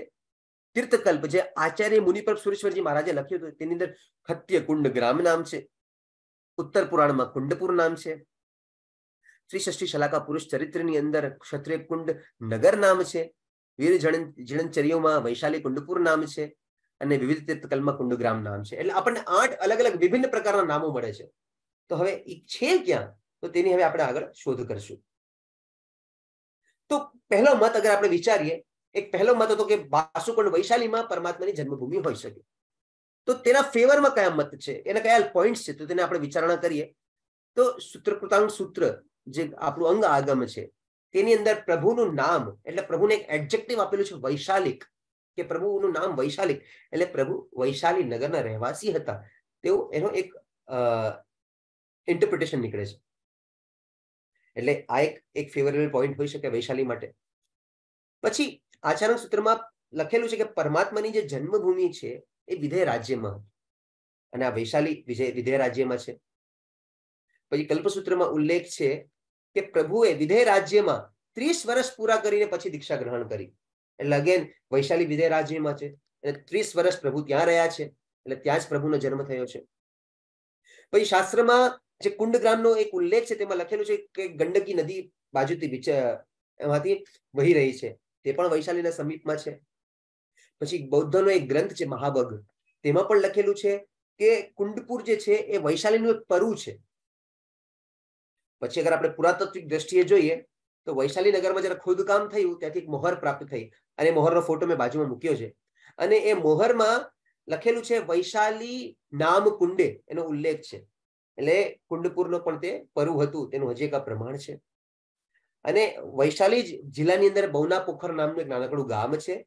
ત્યાં મહાવિસ્વામી ભગવાનની પાલકાલીન અદ્ભુત પ્રાચીન પ્રતિમા પ્રાપ્ત થઈ છે. અને સંશોધકોનું એવું માન્યતા છે કે દીક્ષામાં છઠ કરી પછી પ્રભુ કોલ્લાગ્રામ પધાર્યા હતા. જે સંશોધકોના હિસાબે આ વૈશાલીની સમીપ કોલવા નામનું નગર છે. તો આ બધા પ્રમાણો વૈશાલીના ફેવરમાં છે. તો કદાચ વૈશાલી પ્રભુની જન્મભૂમિ હોઈ શકે. પણ આની સામે જેના ઓપોઝિટ પોઈન્ટ્સ પણ છે, કે પ્રભુ મહાવિષ્ણુ ભગવાને વૈશાલીમાં સાત સાત ચોમાસા કર્યા. પણ શાસ્ત્રમાં એવો કોઈ પણ ઉલ્લેખ પ્રાપ્ત નથી થતો કે પ્રભુએ પોતાની જન્મભૂમિમાં એક પણ ચાતુર્માસ કર્યું હોય. હા, એવો ઉલ્લેખ જરૂર છે કે કેવળ જ્ઞાન પછી પ્રભુ પોતાની જન્મભૂમિમાં પધાર્યા છે, પણ એવો કોઈ પણ ઉલ્લેખ એવો નથી પ્રાપ્ત થયો કે પ્રભુએ પોતાની કોઈ જન્મભૂમિમાં કોઈ પણ ચાતુર્માસ કર્યા હોય. તો પરમાત્મા જયારે સાત સાત ચાતુર્માસ વૈશાલીમાં કર્યા, તો તેવો ઉલ્લેખ કેમ નથી મળતો કે વૈશાલી પ્રભુની જન્મભૂમિ છે? પછી બીજો એક હજી એક પ્રમાણ છે કે ત્રિશલા માતા લિચ્છવી વંશના હતા અને લિચ્છવની રાજધાની વૈશાલી હતી. એટલે તેમનું પિયર વૈશાલી હતું. તો ત્યાં પ્રભુનું જન્મસ્થાન કેવી રીતે હોઈ શકે? અને ઐતિહાસિક પુરાવા મુજબ વૈશાલી એક પ્રજાસત્તાક રાજ્ય હતું. એટલે રિપબ્લિક જેને આપણે ઇંગ્લિશમાં રિપબ્લિક કહીએ. અને જ્યારે કે આપણે કુંડપુર એક મોનાર્કી હતું. એટલે રાજા દ્વારા રાજ કરેલું સ્થાપત્ય. એટલે વૈશાલીને જોઈએ તો ચેટક તેના રાજ્યપાલ હતા, રાજા નહોતા. ત્યારે કુંડપુરના જે રાજા હતા, એ સિદ્ધાર્થ રાજા તેનો આપણને સંપૂર્ણપણે ઉલ્લેખ મળે છે. અને જયારે અજાત શત્રુએ વૈશાલી પર યુદ્ધ કર્યું, ત્યારે યુદ્ધ થયું અને વૈશાલીનું પતન થયું ચેટક હાર્યા. અને ત્યારે પણ આપણને એવો સામે ઉલ્લેખ મળે છે કે પ્રભુના ભાઈ નંદીવર્ધન તો કુંડા, કુંડપુરના અધિપતિ રહ્યા જ હતા. તો વૈશાલી અને કુંડપુર એક ના હોઈ શકે. હજી એક એવો સરસ પ્રમાણ છે કે પ્રભુ મહાવીર સ્વામી ભગવાનની ભાષા અર્ધમાગધી હતી. જ્યારે કે આ વૈશાલીની જે આજુબાજુની ભાષા હતી, એ વજ્જી હતી. એટલે પ્રભુ વૈશાલીના ના હોઈ શકે. જન્મભૂમિ પ્રભુની વૈશાલી ના હોઈ શકે. આ બાજુમાં ફોટો જે આપણે દેખાઈ રહ્યો છે, તે પાલકાલીન મહાવિષ્ણુ ભગવાનની પ્રાચીન પ્રતિમા છે, જે વૈશાલીના બહુના પોખર નામના ગામથી પ્રાપ્ત થઈ છે, જેની આપણે પહેલા સ્લાઇડમાં મેં વાત કરી હતી. આ પ્રતિમાની પણ ખાસિયત એ છે કે પરમાત્માના બંને બાજુ ઇન્દ્ર દેવો ચામર નથી વીંજી રહ્યા, પણ ઇન્દ્રાણીઓ ચામર વીંજી રહી છે, જે ખૂબ જ એક યુનિક વાત છે. તો વર્તમાનમાં જે લોકો વૈશાલીને પ્રભુની જન્મ ચવન જન્મ દીક્ષા ભૂમિ માને છે, તેઓએ સરસ મજાનું જિનાલયનું નિર્માણ કરાવ્યું છે. તેમાં માવી સ્વામી ભગવાનની સરસ મજાની પ્રતિમા બેસાડી છે. અને આના નીચે ભૂગર્ભમાં, એટલે નીચેના સ્થળમાં ભગવાન શ્રી મહાવીર સ્વામી ભગવાનની રાજ્ય અવસ્થા દેખાડતી જીવંત સ્વામી ભગવાનની સરસ મજાની પ્રતિમાનું નિર્માણ થયું છે. જે રાઈટ હેન્ડ સાઈડમાં મેં ફોટો મૂકેલો છે, જોઈ શકીએ છીએ કે પ્રભુ જ્યારે રાજ્ય અવસ્થામાં હતા, ત્યારે કેવા સરસ મજાના દેખાતા હતા. તો એવી સરસ મજાની બ્રોન્ઝમાં પ્રતિમા બનાવી છે. તો આનો આઈડિયા કેવી રીતે આવ્યો? તો એની પણ પાછળ એક સ્ટોરી છે કે આકોટા નામની જગ્યા છે બરોડામાં અને ત્યાંથી ઉત્ખનનથી પ્રાપ્ત થયેલ આકોટા બ્રોન્ઝિસ છે. અને આકોટા બ્રોન્ઝિસમાંથી જીવંત સ્વામી ભગવાનની પાંચમી સદીની જે પ્રતિમા પ્રાપ્ત થઈ હતી, તેને અનુરૂપ, એને આબેહૂબ અનુરૂપ લઈને આ સરસ મજાની વિશાળ બ્રોન્ઝની પ્રતિમા બનાવવામાં આવી છે, જે અત્યારે બાસુકુંડ નગરમાં સ્થિત છે. તો આપણે વૈશાલીનો આપણે પ્રોસ કોન્સ બધા વાંચી લીધા, જાણી લીધા. કે શું પ્રબંધ, પ્રભુની જન્મભૂમિ હોઈ શકે કે નહીં? બંને તરફના પુરાવા છે. તો શું કુંડલપુર જે હજી પણ એક દિગંબરોનો એક વર્ગ જેને જન્મભૂમિ માને છે, તો શું આજે કુંડ કુંડલપુર છે, એ જ કુંડપુર છે? તો તેના પ્રમાણમાં આપણે જોઈએ તો દિગંબર ગ્રંથ, બે ગ્રંથો છે, તિલોય પન્નતિ અને છટખંડ આગમની ધવલ ટીકા. આ બંને અનુસાર આ પ્રભુ મહાવિષ્ણુ ભગવાનની જન્મભૂમિ છે. પણ પાછી એ જ વાત આવે છે કે જૈન ગ્રંથો આપણને કહે જ છે કે પ્રભુનો જન્મ તો વિધેય પ્રદેશમાં થયો હતો. અને કુંડલપુર નાલંદા તો મગધ પ્રદેશમાં હતું. તો આ અગેન એક કોન્ટ્રાસ્ટિંગ વ્યૂ પોઈન્ટ આવે છે. અને હજી સૌથી મોટો કોન્ટ્રાસ્ટિંગ વ્યૂ પોઈન્ટ પાછું એ જ કે ભગવાન મહાવિષ્ણુ ભગવાને નાલંદા પાડામાં ચાતુર્માસો કર્યા. અને શાસ્ત્રમાં એવો કોઈ ઉલ્લેખ નથી કે પ્રભુએ પોતાની જન્મભૂમિમાં એક પણ ચાતુર્વાસ કર્યા હોય. એટલે જેમ વૈશાલીમાં જે પોઈન્ટ આવતો હતો એ સેમ પોઈન્ટ નાલંદા માટે પણ આવે છે. તો હવે આપણે વર્તમાન જે શ્વેતાંબર માન્યતા હિસાબથી જે જન્મભૂમિ છે, ચવન જન્મ દીક્ષા ભૂમિ છે, એ ગુંડ ઘાટ એ કુંડપુર છે કે નહીં? તો તેની આપણે હવે આપણે વિચારણા લઈએ. તો એમાં આચરણ સૂત્રમાં પ્રભુની જન્મભૂમિને કુંડપુર સન્નિવેશ નામ આપ્યું હતું, જે આપણે સ્લાઇડમાં જોયું હતું. તો આગમોને, તો સન્નિવેશ શું છે? તો તેનો અર્થ આપણને વિસ્તારમાં સમજાવે છે કે ટીકાકારોએ એને અર્થ બતાવ્યો છે કે સન્નિવેશ એક એવી જગ્યા છે, એક એવું ગામ છે, જ્યાં ઘોડાગાડી અને યાત્રીઓ વિસામો ખાવા રોકાય. એટલે એક નાનકડું ગામ, નાનકડો પ્રદેશ. તો આ કથનથી સિદ્ધ થાય છે કે કુંડપુર એક નાનું રાજ્ય હતું, જેના અધિપતિ સિદ્ધાર્થ રાજા હતા. આજે પણ જમુઈ પર્વત શૃંખલા ઉપર સાત સાત ગામો વિદ્યમાન છે. એટલે ફ્લેટ સરફેસ ઉપર સપાટ ભૂમિ છે. એટલે પર્વતીય ક્ષેત્ર હોવા છતાં પણ ત્યાં સપાટ ભૂમિઓ છે અને સપાટ ભૂમિઓમાં સાત સાત ગામ છે જેને આ સન્નિવેશ શબ્દ સાર્થક કરે છે. પછી બીજા પ્રમાણોમાં જઈએ તો લગ્ન સમયે ત્રિશલા રાણી એ સમયની પ્રથા હતી કે જ્યારે લગ્ન થતા ત્યારે એકમાત્ર રાણી ન આવતી, એની સાથે સાથે પૂરું એનું એન્ટુરાજ આવતું હતું. એની સાથે એમના સેવકો, દાસો બધા સાથે સાથે આવતા હતા. એમની સખીઓ બધા સાથે આવતી. તો તે સમયે જયારે ત્રિષ્ણા રાણીને જયારે લગ્ન થયા હતા, તો તે સમયે એમના જેટલા પણ સહકાર સાથીઓ હતા, તેઓ માટે સિદ્ધાર્થ રાજા એક નવું ગામ વસવાટ કરીને આપ્યું. એ જે લિચ્છવીઓ માટે એક નવું નગર વસવાટ કરવામાં આવ્યો, જેને આજે પણ લછવાડ નામથી ઓળખાય છે જે આજે ક્ષત્રિય કુંડની તલેટી ઉપર છે. એટલે કુંડ ઘાટની તલેટી ઉપર છે. પછી દીક્ષાની બાદ જે છઠ કર્યો, ત્યારબાદ પ્રભુ કુમારગ્રામ અને કોલ્લાગ્રામ પધાર્યા. આ લછવાણની સમીપ કુમાર અને કોન્નાક ગ્રામ છે. અને ત્યારબાદ પ્રભુના પ્રથમ ચાતુર્માસના પહેલા પંદર દિવસ મોરાક સન્નિવેશમાં પ્રભુ રહ્યા. એ પણ લછવાણી સમીપ મોરા છે. તો આ મેપમાં યદી જોશું, તો બધા જ તીર્થો દસથી વીસ કિલોમીટરના રેડિયસમાં છે. એટલે કુંડ ઘાટ જ્યાં પ્રભુની જન્મભૂમિ, એની બાજુમાં જ્ઞાત ખંડ વન, જ્યાં પ્રભુની દીક્ષા થઈ. તેથી તેર કિલોમીટર દૂર કુમાર ગ્રામ એનાથી અઢાર કિલોમીટર દૂર કોન્ના ગ્રામ એનાથી એકત્રીસ કિલોમીટર દૂર મૌરા ગ્રામ. એટલે બધા જ વીસ ત્રીસ કિલોમીટરના રેડિયસમાં છે. એટલે દીક્ષા બાદ જે પ્રભુની જે પહેલી વિચરણ ભૂમિઓ હતી, ત્યાં હતી, તો તેનાથી એક આ બહુ એક ફેવરેબલ પોઈન્ટ છે કે આજ પ્રભુની જન્મભૂમિ હોઈ શકે. પછી ભગવતી સૂત્ર ત્રિષષ્ઠી શલાકા પુરુષ ચરિત્રમાં પણ વિવરણ છે કે કેવળ જ્ઞાન બાદ પ્રભુ ત્રણ વાર તેમની જન્મભૂમિ કુંડપુર પધાર્યા હતા. અને એમને બ્રાહ્મણ કુંડમાં એમના બ્રાહ્મણ માતા પિતા ઋષભદત્ત અને દેવાનંદજીને દીક્ષા આપી હતી. ક્ષત્રિય કુંડમાં જમાલી અને પુત્રી પ્રેમદાને દીક્ષા આપી હતી. પ્રિયદર્શન અને પ્રિયદર્શન અને દીક્ષા આપી હતી. અને જ્યારે જ્યારે પ્રભુ અહીં આવ્યા, તો ત્યારે પ્રભુના સમોષણ આ ભૂમિઓ પર રચાયા હતા. આજે પણ, જ્યારે પણ સ્થાની પ્રજા આ જગ્યાને ચક્કણાણી નામના શબ્દથી ઓળખે છે. ચક્કણાણી શું છે? તો આ પ્રાકૃતમાં અગર આ બે શબ્દોનું આપણે વિભાજન કરીએ, ચક્ર એટલે ધર્મચક્ર, રાણી એટલે જ્ઞાની, એટલે પ્રાચીન કાળમાં એક જ્ઞાની પુરુષ એટલે પ્રભુ શ્રી મહાવીર સ્વામી ભગવાને અહીં ધર્મ તીર્થની સ્થાપના કરી હતી, એટલે આનું નામ ચક્કરાણી પડ્યું. હવે આને યદિ આર્કિયોલોજીકલ પુરાતત્વિક દ્રષ્ટિએ જોઈએ, તો આજે વર્તમાનમાં જ્યાં શ્વેતાંબર જન્મ કલ્યાણક મંદિર છે એનાથી થોડી દૂર લોંધાપાની નામના એક ગામની અંદર એક વિશાળ ભવનના અવશેષ આજે પણ પ્રાપ્ત થાય છે. અને વિશાળ ભવનની માન્યતા એ છે કે એ જ સિદ્ધાર્થ રાજાનો મહેલ હતો. અને તેની એક શિલા આજે પણ લછવાડના જિનાલયમાં સંગ્રહિત કરીને કબાટની અંદર રાખવામાં આવી છે. અને જ્યારે આપણે સ્પર્શ કરીએ, ત્યારે એમ લાગે, ઓહો હો, કે આ જ તે શિલા હશે કે જેની ઉપર પ્રભુ કદી ચાલ્યા હશે, રમ્યા હશે અને ધ્યાન મગ્ન રહ્યા હશે. આ કેવી અદ્ભુત શિલા છે. અને જ્યારે અડીએ, ત્યારે મનમાં એક એવી પંક્તિઓ યાદ આવે સ્પંદનો, પ્રભુવીર તારા શક્તિથી ભરપૂર છે, આ શક્તિથી ભરપૂર છે. એવું લાગે છે અહીં તું હાજરા, હજૂર છે. સ્પંદનો, પ્રભુવીર તારા શક્તિથી ભરપૂર છે હા શક્તિથી ભરપૂર છે એટલે પ્રભુ શ્રી મહાવિષ્ણુ ભગવાનના સ્પંદન મેળવવાની આ અદ્ભુત જગ્યા લછવાડ તીર્થમાં જ્યારે પણ આપણે જઈએ, તો આ શિલાના દર્શન અને સ્પર્શન અવશ્ય આપણે કરવું જોઈએ.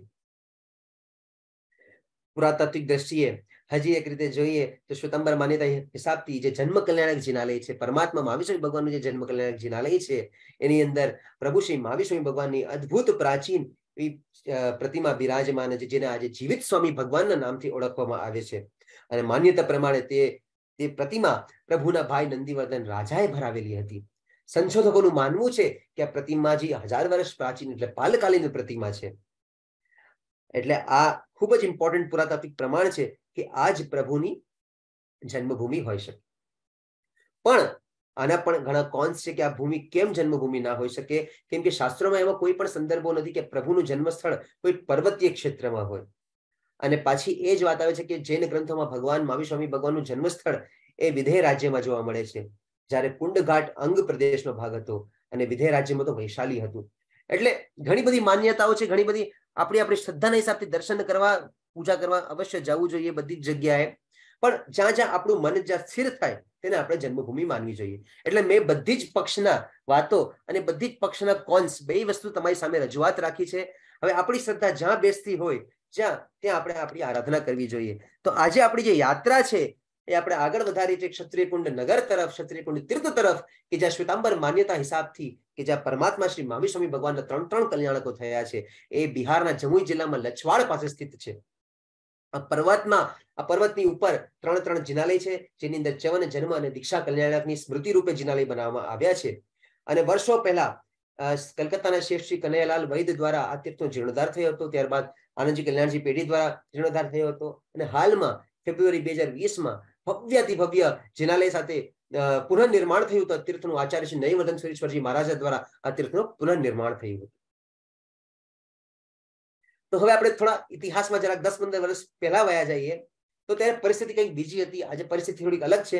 એટલે ત્યારે કેવી સરસ મજાની પરિસ્થિતિ હતી તો હું એ યાદ કરીને એ સમયના ફોટા તમારી સામે મૂકું છું કે જ્યારે પણ લછવાડથી આપણે પર્વત તરફ આગળ વધીએ ને, તો રસ્તામાં સાત સાત ઝરણાઓ આવતા. તેને પાર કરીને જવું પડતું હતું.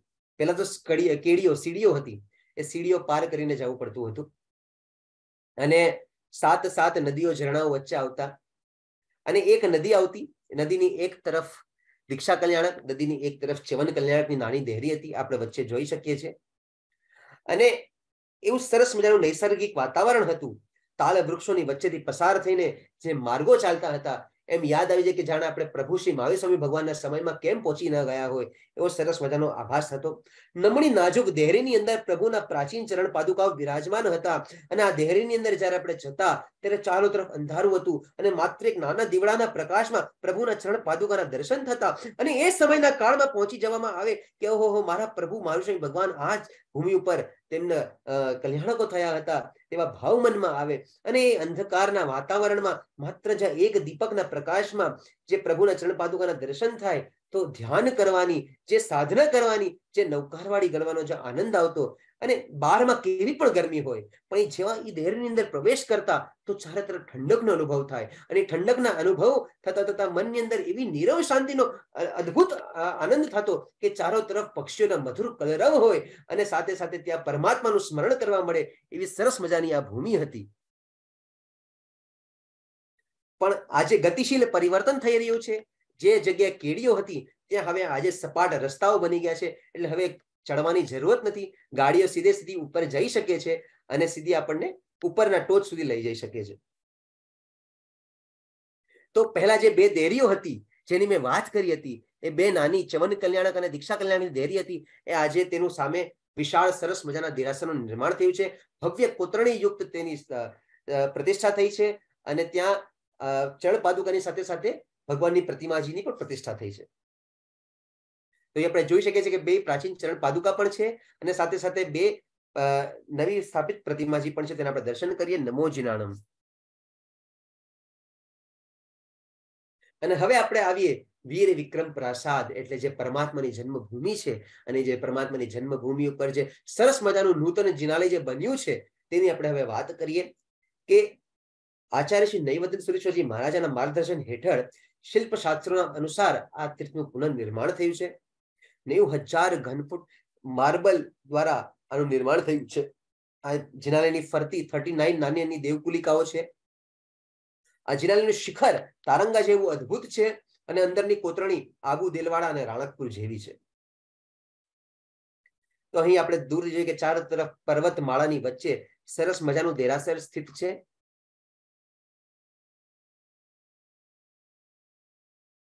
તો આની અંદરની જે ખાસિયત છે તેને અગર આપણે જોઈએ, તો આ અંદર ચોસઠ જટિલ કોતરણી વાળા સ્તંભો છે. અને કોતરણી જે કરેલી છે, તેમાં કઈ કઈ કોતરણી છે? તો ચોસઠ ઇન્દ્રો બનાવેલા છે, છપ્પન દિક્કુમારિકાઓ બનાવેલી છે, ચોવીસ યક્ષ યક્ષિણીની પ્રતિમા બનાવેલી છે, સોળ વિદ્યાદેવની પ્રતિમા બનાવેલી છે, નવ ગ્રહોની પ્રતિમા, દસ દિક્પાલ અને અલગ અલગ વાજિંત્રો સાથે યોગ યોગિણીની પ્રતિમા પણ બનાવેલી છે.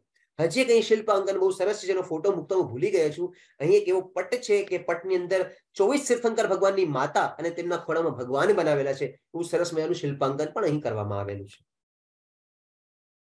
આની બે ભાગની છત છે, એક ફોલ્સ છત છે, જેવું લાગે કે એક અલગ ફ્લોર છે ઉપરમાં, પણ એકચ્યુઅલી નથી. આ શિલ્પ કલાની હિસાબથી એવો બનાવવામાં આવે છે કે આપણને આભાસ થાય કે બે માળનું દેરાસર છે. એટલે આની બે અલગ અલગ જાતની છત છે અને તે છતો ઉપર કલ્પવૃક્ષ સરસ્વતી દેવી, અંબિકા દેવી અને સિદ્ધાયિકા દેવીનું ચિત્રણ કરવામાં આવ્યું છે. એટલે બહુ જ નાજુક શિલ્પકલા યુક્ત દેરાસર બનાવવામાં આવ્યું છે. આના દ્વાર અલગ અલગ પ્રકારના દ્વાર છે. જ્યારે આપણે બહારના દ્વારથી પ્રવેશ કરીએ અને અંદર ગભારા સુધી જઈએ, ત્યાં સુધીમાં અલગ અલગ દ્વારો આવે છે. એક છે ત્રિશાખા દ્વાર, પંચશાખા દ્વાર, સપ્તશાખા દ્વાર, એક પંચમેરુ દ્વાર અને એક દ્વાર એવો છે જેની અંદર પરમાત્માનો જન્મ કલ્યાણક ઉત્સવ બતાવવામાં આવ્યો છે. સરસ્વતી દેવીની રચનાઓ કરવામાં આવી છે. ગજલક્ષ્મીની રચના કરવામાં આવી છે દ્વારો ઉપર. એટલે સરસ મજાની રચનાઓ અહીં આપણે જોઈ શકીએ છીએ. અને હવે આપણે આબુ દેલવાડાની વાત કરી તો આપણને સાસુ વહુના દેરાસરની તરસ દેરીઓની યાદ આવી જાય.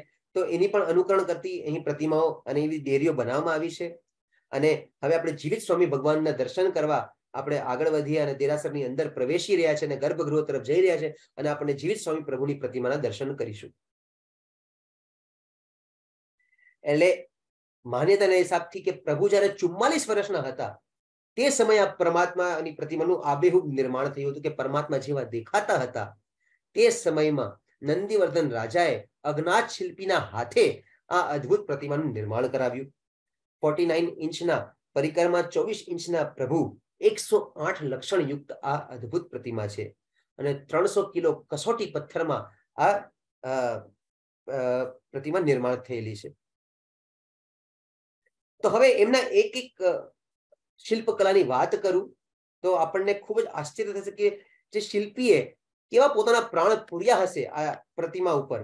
તો સૌથી પહેલા અગર પ્રભુના મુખને જોઈએ, તો પાલ, પાલકાલીન એટલે દસમી સદીની આસપાસનું જે શિલ્પકળા હતી તો તેનું એક વિશિષ્ટ લક્ષણ છે કે પ્રભુનું જે મુખ બનાવવામાં આવતું ને, એ પીપળના પાનના આકારનું હતું. એટલે બહુ શાંત સ્વભાવને દેખાડનારું, જે શાંત ભાવને દર્શાવનારું, એ આ પીપળના પાનના આકારનું પ્રભુજીનું મુખ છે. એમાં જે પ્રભુના જે નેત્રો છે, એ તો સૌથી ઇમ્પોર્ટન્ટ હાઇલાઇટ છે આ પ્રતિમાની.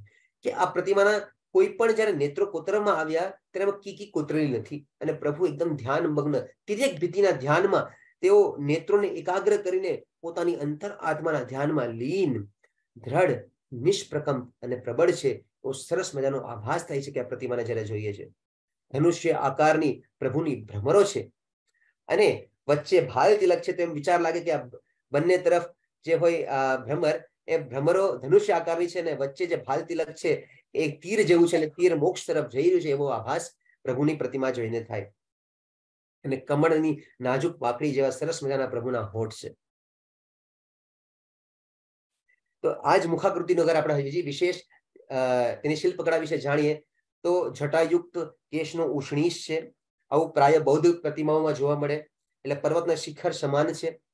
પ્રભુના કેશ ખૂબ જ મુલાયમ, ગાઢ, ચમકીલા ઘૂંઘરાળા રાઉન્ડ રાઉન્ડ બનાવવામાં આવ્યા છે. અને ભગવાનના કુંડળ આપણે જોઈએ કાનો, એટલે એકદમ નીચે સુધી છે. તો આટલા મોટા કાન તો પરમાત્માના હોય ને તો કેમ? તો કે રાજ્ય અવસ્થામાં પ્રભુ જે કુંડલ પહેરતા હતા, એના કારણે કાન એટલા ઇલોંગેટ થઈ ગયા હતા. એટલે રાજ્ય અવસ્થાના ભારોભાર કુંડલથી સુશોભિત રહેવાથી વિસ્તારેલા કર્ણયુગલ એટલે મોતીની છીપ જેવા કુંડલ બનાવેલા છે. પ્રભુની નાસિકા કેવી? તો કે પોપટની ચાંચ જેવી. કે કવિવરે કેવો સરસ ઉપમા આપી છે કે પ્રભુની પ્રભુનું નાસિકા કેવી? કે પોપટની ચાંચ જેવી સરસ મજાની બનાવવામાં આવી છે. અને કંઠના ભાગની અંદર ત્રણ લેયર આપણને જોવા મળે છે. કે એ ત્રણ લેયર કેવા છે? તો શંખના અગ્રભાગ જેવા. કે શંખના અગ્રભાગ જેવા કંઠના ત્રણ રૂપ કે પ્રભુની પ્રતિમા કેવી સરસ દિવ્ય બનાવેલી છે. હવે પરમાત્માનું વક્ષસ્થળ કેવું છે? તો કે સિંહની છાતી કે ગાયના મુખ જેવું છે. એના બાજુમાં મેં ચિત્રો આપેલા છે, તો આપણે સાથે કમ્પેર કરી શકીએ છીએ કે કેવી સરસ મજાની આ પ્રતિમા બનાવેલી છે. આંગળીઓ તો વટાણા જેવી છે. અને હાથ અને પગમાં લક્ષણો છે. અગર આપણે ઝૂમ કરીને મેં આ ફોટો રાખ્યો છે કે પરમાત્માના હાથ અને પગમાં કેવા સરસ મજાના નાજુક અને નમણા એવા શિલ્પકળાયુક્ત લક્ષણો બનાવવામાં આવ્યા છે. એવા એકસો આઠ લક્ષણ યુક્ત આ દિવ્ય પ્રતિમા છે.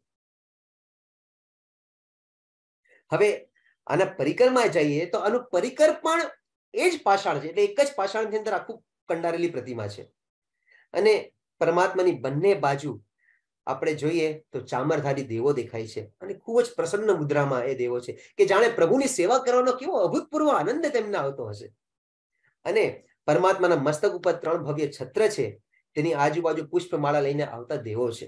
આ તો બધું કોમન આપણને હરેક પરિકરમાં દેખાય, પણ જે ઘર પરિકરમાં નહીં દેખાય એની આપણે વાત કરીશું કે અહીં પરિકરમાં પ્રભુનો સંપૂર્ણ પરિવાર અંકિત છે. પ્રભુની પૂરી ફેમિલી આપણને જોવા મળે છે કે ડાબી તરફનું પરિકર જોઈએ તો ડાબી તરફમાં આપણે જોઈએ હાથી ઉપર. પિતા સિદ્ધાર્થ રાજા અને નંદીવર્ધન આવી રહ્યા છે. એમના હાથમાં કળશ છે અને પરમાત્માનો અભિષેક કરવા આવી રહ્યા છે.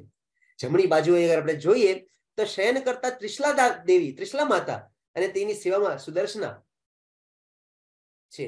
અગર નીચે કમલાસન નીચે જોઈએ, તો પબાસણની જમણી અને ડાબી બાજુએ રાણી યશોદા અને કુમારી પ્રિયદર્શના આ બંનેનું ચિત્રણ કરવામાં આવ્યું છે. એટલે કે શિલ્પકારે કેટલું અદ્ભુત વિચાર્યું છે કે પરમાત્માના પૂરા પરિવારનું શિલ્પાંકન આની અંદરમાં કરી દીધું છે. હવે ઇતિહાસકારો કેમ અને પાલકાલીન પ્રતિમા કહે છે તેની આપણે વાત કરી જોઈએ. કેમ કે માન્યતા તો આપણી છે કે નંદીવર્ધન રાજા ભરાવેલી છે. તો કેમ આને હજાર વર્ષ પ્રાચીન કહે છે તો આના અલગ અલગ કારણો છે? કે સૌથી પહેલા કે પરમાત્માના જે પબાસણ છે પબાસણ નીચે કમલાસન છે કમલાસન નીચે એક જે પ્રાસાદ દેવી કયો, કહો કે તલવારધારી દેવી બનાવેલી છે, તો એ કમલાસન નીચે તલવારધારી દેવી છે. એ નૃત્ય મુદ્રામાં દેખાવામાં આવી છે. એના પગ તળે કોઈ હાથીના મુખવાળો, કોઈ પરાજિત દુરાત્મા છે. એટલે એક એવી માન્યતા છે કે આ જે દુરાત્મા છે, એનો હાથીનું મુખ કેમ છે? કે આપણો અહંકારનો મદ ઉતારવા માટે છે. અને આવી જે પ્રાસાદ દેવી કે દેવદેવીનો જે શિલ્પકળા જે હતી, એ બધી ગુપ્ત કાળથી શરૂ થઈ હતી. એની પહેલાની પ્રતિમાઓમાં આ નહોતું. આપણે મથુરાને જ્યારે આપણે બંને સેશન કર્યા હતા, ત્યારે આપણે ગ્રેજ્યુઅલ જોયું હતું કે કેવી રીતે પ્રતિમાની આઇકોનોગ્રાફી આગળ આગળ વધી હતી. તો એમાં આપણે જોઈ શકીએ છીએ કે લાંછનો, કે પરમાત્માના જે લાંછનો હતા, એ પણ પાંચમી સદી પછી આવ્યા હતા. તો આ પ્રતિમામાં જ્યારે જોઈએ તો પ્રતિમાની અંદર એક લાંછન પણ છે. અહીંયા ઝૂમ કરીને મેં ફોટો રાખ્યો છે કે આ પ્રતિમાની અંદર સિંહનું લાંછન પણ છે.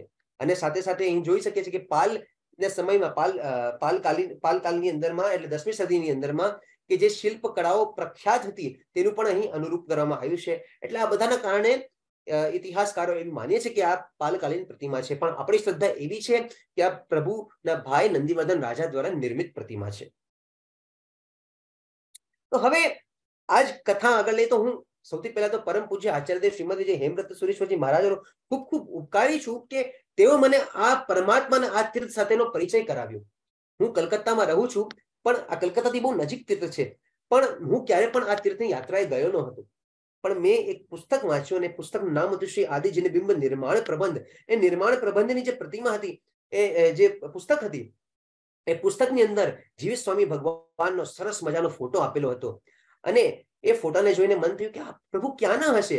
અને તેની અંદર આગળ આગળ વાંચ્યું તો હેમવ્રત સુરેશ્વરજી મહારાજાએ જે વાતો લખી હતી, જે એમનું વર્ણન કર્યું હતું, તે જોઈને મારા રૂવાટા ઊભા થઈ ગયા કે આવા દિવ્ય પ્રભુ મારા આટલા નજીક છે ને મેં દર્શન નથી કર્યા પ્રભુના. અને એ જ મનમાં રાખીને ખૂબ જ નજીકના સમયમાં પછી મને જવા મળ્યું અને ત્યારબાદ પ્રભુ સાથેનો જે મારો એક મેક સંબંધ બન્યો છે, એટલે મારા પ્રાણ પ્યારા પ્રભુ અગર હું કોઈને કહી શકું તો આ કુંડના જીવિત સ્વામી પ્રભુ, આ ક્ષત્રિય કુંડના જીવિત દાદા એવા મહાવીર સ્વામી ભગવાનની મને યાદ આવે. અને આ પ્રતિમાની જે ખાસિયત જે મેં આટલી બધી વાતો કરી, એ બધી આ પુસ્તકની અંદર લખેલી હતી. એટલે આ પુસ્તકની અંદર એક બહુ સરસ વાત લખેલી છે કે શું આ પ્રતિમાની કોપી થઈ શકે? તો તેની વાત એમને લખી હતી કે એ સમયમાં કનૈયાલાલ વૈદ કલકત્તામાં રહેતા શું શ્રાવક હતા અને તેઓ, એમ તો મૂળ બિકાનેરના વતની હતા, પણ તેઓ પ્રભુના પરમ ભક્ત હતા. અને તેઓએ પ્રભુની પ્રતિકૃતિ બનાવવાની ખૂબ ભાવના હતી તેમને. એટલે તેઓએ ઉડીસા, બંગાળ, ખુજરાવ, કોનાર્ક, સાઉથ બધાના કારીગરોને ભેગા કર્યા. અને તેમને બોલાવીને કીધું કે મને આ જીવિત પ્રતિમાની એક આબેહૂબ કોપી બનાવી છે. મને તમે કેવી રીતે પણ કરીને બનાવી દો અને તેઓને કીધું, તમે મોડેલ બનાવો. એટલે તેઓ મોડેલ બનાવતા રહ્યા, પણ એકેમાં એમને સંતોષ થયો નહીં. એટલે તેઓ જયપુરના કારીગરોને બોલાવ્યા. એ લોકોને બહુ રાય હતી તેમના મનમાં કે અમે કેવી પણ પ્રતિમા કંડારી દેશું. તો તેઓ જયારે પૂજાના કપડામાં અંદર ગર્ભગૃહમાં લઈ ગયા અને કીધું આ પ્રભુની પરમાત્માની પ્રતિમા છે તમે આની આબેહૂબ પ્રતિકૃતિ રચીને આપો તો ત્યારે તેઓ શું વાત કરી તે હું એના શબ્દો કહું છું કે શેઠજી हमसे ये काम नहीं हो पाएगा ऐसी मूर्ति बनाना कोई आसान काम नहीं है हम ये काम नहीं कर सकेंगे क्योंकि ये मूर्ति आदमी से नहीं देव द्वारा बनी हुई है आदमी क्या खाक काम करेगा आप भी ये लगन छोड़ दीजिए कुछ नहीं हो पाएगा તો ત્યારે શેઠજી કહે છે કે ના સાહેબ મને તો આ પ્રતિમા કેવી રીતે પણ કરીને બનાવી છે તું કોઈ પણ કરીને ઉપાય બતાવ તો ત્યારે એક શિલ્પી કહે છે કે શેઠજી એક રસ્તા है ऐसा हो सकता है कि मूर्ति के ऊपर मोम लगा के डाई निकालो और उस डाई के ऊपर मॉडल बनवाओ और उसी डाई में पंच धातु का रस डाल दो તો કે જેવી હતી મૂર્તિ એવી આબેહૂબ નીકળી જશે તો આઈડિયા બહુ ગમ્યો કેનેલાલ વૈદ્યને એમણે એક ફોરેન થી પ્યોર મીણ મંગાવ્યું એના દ્વારા આબેહૂબ મોડલ તૈયાર કર્યું અને એ મોડલ તૈયાર થયા બાદ તેઓ નેપાલ ગયા. નેપાલમાં એ સમયમાં બુદ્ધ પ્રતિમાઓ બનતી હતી, તો તેના ઉપર પંચધાતુનો રસ ઢાળીને કેવી રીતે પ્રતિમા બનતી હતી તેનો એક ખાસો આઈડિયા લીધો અને ત્યાંના શિલ્પીઓને કોન્ટ્રાક્ટ આપ્યો. કોન્ટ્રાક્ટ આપીને તેઓ ફ્લાઇટ પકડીને કલકત્તા એરપોર્ટ સુધી જેવા પહોંચ્યા. ત્યાં એમને હાર્ટ એટેક આવ્યો અને હાર્ટ એટેકમાં ત્યાં તે મૃત્યુ પામ્યા. એમનું સપનું અધૂરું અધૂરું રહી ગયું અને આ પ્રતિમાનું નિર્માણ ફરીથી થયું નહીં. આબેહૂબ પ્રતિમાનું નિર્માણ ફરીથી થયું નહીં. આજે પણ તે મોડલ આજે પણ ધૂળ ખાતા પડ્યા છે. પણ આજે પણ કોઈ પણ એવી શિલ્પીમાં ક્ષમતા નથી બની કે આનું આબેહૂબ શિલ્પકલા મોડલ બનાવી શકે આ પરમાત્માનું. તો આ પ્રતિમા સાથે અગર આપણે જોઈએ તો અમુક દસ વર્ષ, છેલ્લા દસ, બાર વર્ષમાં આ પ્રતિમાજી સાથે બહુ છેડછાડ થઈ છે. એટલે એક એક કરીને હું સમજાવવા માંગુ છું કે આ પ્રતિમા આટલી અદ્ભુત ધરોહર છે જૈન ધર્મની અને જે ત્યાંના વહીવટોધારો છે કે જે પણ આને મેનેજ કરી રહ્યા છે, તેઓથી દ્વારા કેટલી બધી ભૂલ થઈ રહી છે આ પ્રતિમાને સંરક્ષિત કરવામાં. તો અમુક ફોટાઓ દ્વારા હું આપને પરિચિત કરવા માંગુ છું. તો આપણે વચ્ચેનો જે ફોટો આ જોઈએ, તો મૂળ સ્વરૂપ છે કે જ્યારે ચક્ષુ ભગવાનને નહોતા લગાડવામાં આવતા. આટલા વર્ષો સુધી ક્યારે ચક્ષુ નહોતા લગાડ્યા? પણ લગભગ ઓગણીસો એસી પછી ચક્ષુ લગાડવાની પ્રથા શરૂ થઈ આ પ્રતિમા ઉપર અને ત્યારબાદ અલગ અલગ પ્રકારના ચક્ષુ બન્યા. ત્યાં સુધી વાત ઠીક હતી, પણ ત્યારબાદ જે થયું, તો આપણે જોઈ શકીએ છીએ જમણી તરફના ફોટોમાં કે પહેલા બે હજાર બાર નો ફોટો છે, તો અહીં પ્રભુ નોર્મલ છે. એના પછી ભ્રમરોને લાલ લાલ રંગ કરવામાં આવવા માંડ્યો. અને ત્યારબાદ એની જમણી તરફમાં હજી પણ જોઈએ, તો આ બે હજાર વીસ નો ફોટો જોઈએ, તો પ્રભુનો જે ભ્રમર છે, આખો ખંડિત થઈ ગયો છે. એટલે આવી પ્રાચીન પ્રતિમા સાથે આપણે કેવું કેવું કરી રહ્યા છે? આપણે વિચાર કરીએ. પછી આ હાલનો ફોટો જોઈએ કે પ્રભુની જે નાસિકાની જે મેં વાત કરી હતી, જે પોપટના ચાંચ જેવી હતી, એનું કેવું ખરાબ રીતે તેના પર લેપ કરવામાં આવ્યો છે આખી નવું, નવી નવી સરથી આખી નાસિકા બનાવવામાં આવી છે. એટલે આનો આખો મૂળ રૂપ રંગ જ ફેરવી નાખ્યો છે, જેને કહી શકાય. કેમ કે પ્રભુનું મુખ જ મેઇન કહેવાય અને એની સાથે છેડછાડ થઈ હોય એટલે આપણે વિચારી શકીએ કે કેટલું ખરાબ કહેવાય. અને સાથે સાથે પ્રભુને જે ચક્ષુ લગાડ્યા છે, એનો પણ ભાગ આખો ખંડિત થયો છે. અહીં આપણે ઝૂમ કરેલા ફોટામાં જોઈ શકીએ છીએ. પછી આ જટાને પણ કેટલું નુકસાન થયું છે લેપ દ્વારા આખી જટા ભૂસાઈ ગઈ છે. એટલે બે હજાર બારમાં મેં ફોટો પાડેલો ત્યારે ક્યાંય પ્રોબ્લેમ નતો અને બે હજાર વીસમાં ખૂબ જ ક્ષતિ થઈ રહી છે. પછી આટલી વાર લેપ થયો તો આ બે હજાર બાર નો ફોટો આપણે જોઈ શકીએ છીએ કે કોતરણીઓ સ્પષ્ટ દેખાઈ રહી છે આ તરફ. અને આ જ બે હજાર વીસમાં પાડેલા ફોટામાં કોતરણીઓ આખી ભૂસાઈ ગઈ છે. એટલે અમુક જ વર્ષોમાં આટલી ખરાબ પરિસ્થિતિ થઈ છે. અને ચામરધારી ઇન્દ્રો પર પણ ચક્ષુઓ ચોટાડી દેવામાં આવ્યા છે. એટલે આ બધું આપણી ધરોહર સાથે ખૂબ મોટો ખિલવાડ છે. તો પ્રતિકૃતિ બનાવવાના અનેક અનેક પ્રયાસો થયા છે. અને ઘણા ઘણા લોકોએ પ્રતિમાજી બનાવવાની પ્રયાસ કર્યા છે. કેમ કે આટલી અદ્ભુત પ્રતિમા છે, બધાને મન થાય કે અમારે પણ આવી સરસ મજાની જીવિત સ્વામી ભગવાનની પ્રતિમા બનાવી છે. તો મારું પણ મન થયું હતું. એટલે મેં પણ એક પ્રતિમા બનાવવાનો પ્રયાસ કર્યો હતો. એની એક સવિસ્તાર લેખ લખ્યો છે મેં, પ્રતિબિંબની પ્રતિકૃતિ, જે મારી વેબસાઇટ ઉપર વાંચવા મળશે. તો એ પ્રતિમા મારા ગૃહસ્થાને બિરાજમાન છે નિવાસ સ્થાને બિરાજમાન છે, તેના હું દર્શન સામે કરીને રાખું છું કે આ પ્રતિમા ધાતુમાં મેં બનાવવાની એક પ્રયાસ કર્યો છે. આબેહૂબ તો બની શકવાની છે નહીં, પણ પ્રભુનો ધ્યાનમગ્ન સ્વરૂપ જોવાનું એક નાનકડો પ્રયાસ મને મળે, તો તેના રૂપે મેં પણ એક પ્રતિકૃતિ બનાવવાનો એક નાનકડો પ્રયાસ કર્યો હતો.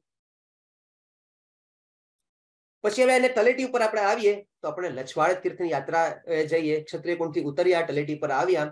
અને તલેટીમાં એકસો સિત્તેર વર્ષ પૂર્વે મુર્શિદાબાદના બાબુઓ દ્વારા નિર્માણ કરેલું આ દેરાસર છે. કલકત્તાના શેઠ કનૈયાલાલ વૈદ દ્વારા આનો થયો હતો. અને અહીં આના શિખરની અંદર એકસો આઠ નાના નાના શિખરો બનાવેલા છે. અને અહીં શ્રી મહાવિષ્ણુ ભગવાનની ભૂરા રંગની પ્રતિમા, જાજરમાન, સિંહાસન ઉપર બિરાજમાન છે, તેના આપણે દર્શન કરી શકીએ છીએ. અને લછવાડ તીર્થથી આપણે આગળ વધતા આજનું છેલ્લું તીર્થ આપનો સમય ઘણો બધો લઈ રહ્યો છું આજે હું, પણ આજનું આ છેલ્લું તીર્થ કાકંદી તરફ હવે આપણે આગળ જઈ રહ્યા છે અને છેલ્લે કાકંદી તીર્થમાં શ્રી સુબિરનાથ સ્વામી ભગવાનના ચાર કલ્યાણક ભૂમિની આપણે યાત્રા કરીશું. અને કાકંદી તીર્થ છે આ પણ એકદમ નજીક છે ક્ષત્રિય કુંડથી એટલે ક્ષત્રિય કુંડ જયારે પણ જવાનું થાય, તો અવશ્ય કાકંદી તીર્થની યાત્રાએ જવું જોઈએ. આ જમુઈ જિલ્લાના કાકન નામના ગામમાં સ્થિત છે. અને આપણે જ્યારે પણ હાઈવે થી અંદર લઈને આ ગામડા તરફ જઈએ ને, તો આખો રસ્તો ઉબળ ખાબળ ખરાબ રસ્તો. એટલે તરત જ આપણું મન થાય કે આપણે ક્યાં આવી ગયા. એટલે જેને કહેવાય ને કે એકદમ મોડર્નિટી થી એકદમ જૂનવાણી જગ્યામાં અગર કઈ આપણે જતા હોઈએ, તો એવી કાકંદીની જગ્યા છે. અને ત્યાં સુવિધનાથ પરમાત્માના ચાર ચાર કલ્યાણકો થયા છે. અને આ જ નગરની બારે પ્રભુ મહાવિષ્ણુ ભગવાનનું સમોસણ રચાયું હતું. ધનના અણગારની આ જન્મભૂમિ પણ રહી ચૂકી છે. એવી આ અદભુત ભૂમિ ની આજે આપણે જઈએ યાત્રા તો મોડર્નિટીથી ઘણા દૂર થઈ જઈએ, પણ પ્રભુથી ઘણા નજીક થઈ જઈએ. તો પ્રાચીન કાળમાં અહીં એક ગોખલાની અંદર માત્ર સુવિધનાથ ભગવાનના પ્રાચીન ચરણ પાદુકા, બે અલગ અલગ પાદુકા બિરાજમાન હતા. અને સિંહાસનમાં પાર્શ્વનાથ પ્રભુની પ્રાચીન પ્રતિમા, છસો વર્ષ પ્રાચીન પ્રતિમા બિરાજમાન હતી. બીજું કોઈ પણ શિલ્પ સ્થાપત્ય ત્યાં ન હતું. એટલે કનૈયાલાલ વૈદજી દ્વારા અહીંનો જીર્ણોદ્ધાર કરવામાં આવ્યો અને આચાર્ય શ્રી ભુવન ભાનુ સુરેશ્વરજી મહારાજા દ્વારા અહીં નૂતન પ્રતિમાની સ્થાપના કરવામાં આવી, અંજન શલાકા થઈ અને ત્યારબાદ આચાર્ય મુક્તિ પર સુરેશ્વરજી મહારાજા દ્વારા જીર્ણોદ્ધાર ફરીથી થયો. અને આનો જે પ્રાચીન ગોખલો હતો, તેને જ એમનું એમ રાખીને નવા જિનાલયનું નિર્માણ થયું. અહીં આપણે મૂળનાક્ષી સુધીનાથ પરમાત્માના દર્શન કરી શકીએ છીએ. નમો જીનાણમ.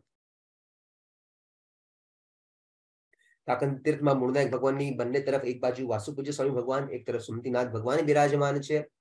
અને અહીં ભવ્યથી ભવ્ય શિલ્પકલા આપણે રંગમંડપનો ઘુમટ જોઈ શકીએ છીએ. એવું સરસ મજાની કોતરણ કામ પણ અહીં કરેલું છે. તો જે મેં પાર્શ્વનાથ પ્રભુની છસો વર્ષ પ્રાચીન પ્રતિમાની વાત કરી હતી કે સર્પોના સિંહાસન ઉપર બિરાજમાન એવા પાર્શ્વનાથ ભગવાનની સરસ મજાની શ્યામવર્ણની પ્રતિમા અહીં બિરાજમાન છે. અને એની સાથે સાથે બે પ્રાચીન ચરણ પાદુકા એક શ્યામવર્ણી અને એક શ્વેતવર્ણી ચરણ પાદુકા પણ અહીં બિરાજમાન છે. કલ્યાણકોની સ્મૃતિ કરાવતી એવી ચાર ચરણ પાદુકા ચારે ચાર કલ્યાણકોની ચરણ પાદુકા પણ અહીં બિરાજમાન છે, તેને આપણે દર્શન કરી શકીએ છીએ. નૈસર્ગિક રૂપે ખૂબ જ સરસ મજાનું શિલ્પ સ્થાપત્ય સાથે દેરાસર વિદ્યમાન છે. સુવિધનાથજીને પ્રાસાદ, લાલ પથ્થરમાં બનેલો આ પ્રાસાદ છે. અને નૈસર્ગિક વાતાવરણ અહીંનું ખૂબ સુંદર છે. જ્યારે પણ અહીં આવીએ, ત્યારે દુનિયાથી દૂર થઈ જઈએ, દુનિયાથી અલિપ્ત થઈ જઈએ, પણ પ્રભુની સાથે જોડાઈ જઈએ. અમુક ચિત્રો એ સનરાઈઝ સનસેટ માણવાનો અલગ જ આનંદ છે.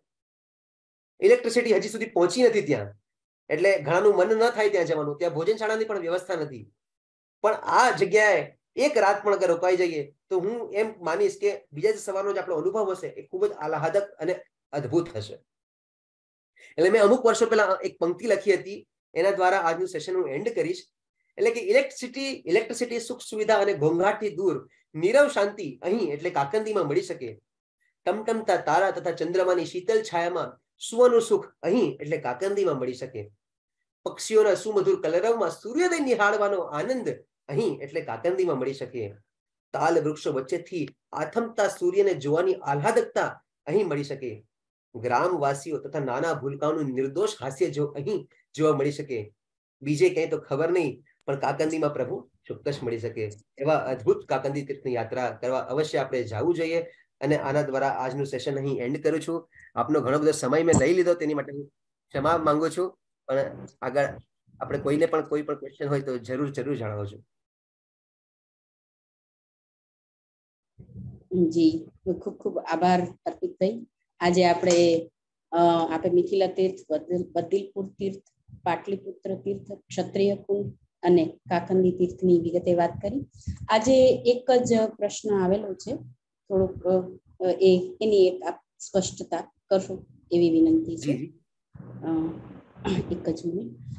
મહાવીર સ્વામીના ભાઈ નંદીવર્ધન એટલે પચીસો વર્ષ પહેલા અને આપે જણાવ્યું છે કે હજાર વર્ષ પહેલાની મૂર્તિ છે તો એનો કઈ ખુલાસો છે? કારણ કે આગલા વ્યાખ્યાનમાં આપે જણાવેલું કે આરસનો ઇતિહાસ હજાર વર્ષ જૂનો છે અને આજની દેખાતી આરસની મૂર્તિ એ સો વર્ષથી વધુ જૂની હોતી નથી. એવું નથી કે આરસની પ્રતિમા સો વર્ષથી જૂની નથી હોતી. આરસની પ્રતિમા તો ઘણી પ્રાચીન મળે છે. અને એ મેં એ પણ કીધું હતું કે એક સમયમાં રાજસ્થાન ગુજરાત બાજુ આરસની પ્રમાણિકતાને એની અવેલેબિલિટી વધારે મળતી હતી એટલે એ સમયમાં આરસની પ્રતિમાઓ ત્યાં બનતી હતી. બાકી બધી જગ્યાએ સેન્ડ સ્ટોન ને એ હિસાબથી પ્રતિમા બનતી હતી. જ્યાં જે પથ્થર જે મળતું હતું તો તેની આપણને એ પથ્થરનો ઉપયોગ લઈને પ્રતિમાની નિર્માણ થતું હતું. તો માન્યતા આપણી માન્યતા એવી છે કે આ પ્રતિમા જે છે જે પ્રભુના ભાઈ નંદીવર્ધન રાજા દ્વારા નિર્માણ કરવામાં આવી છે.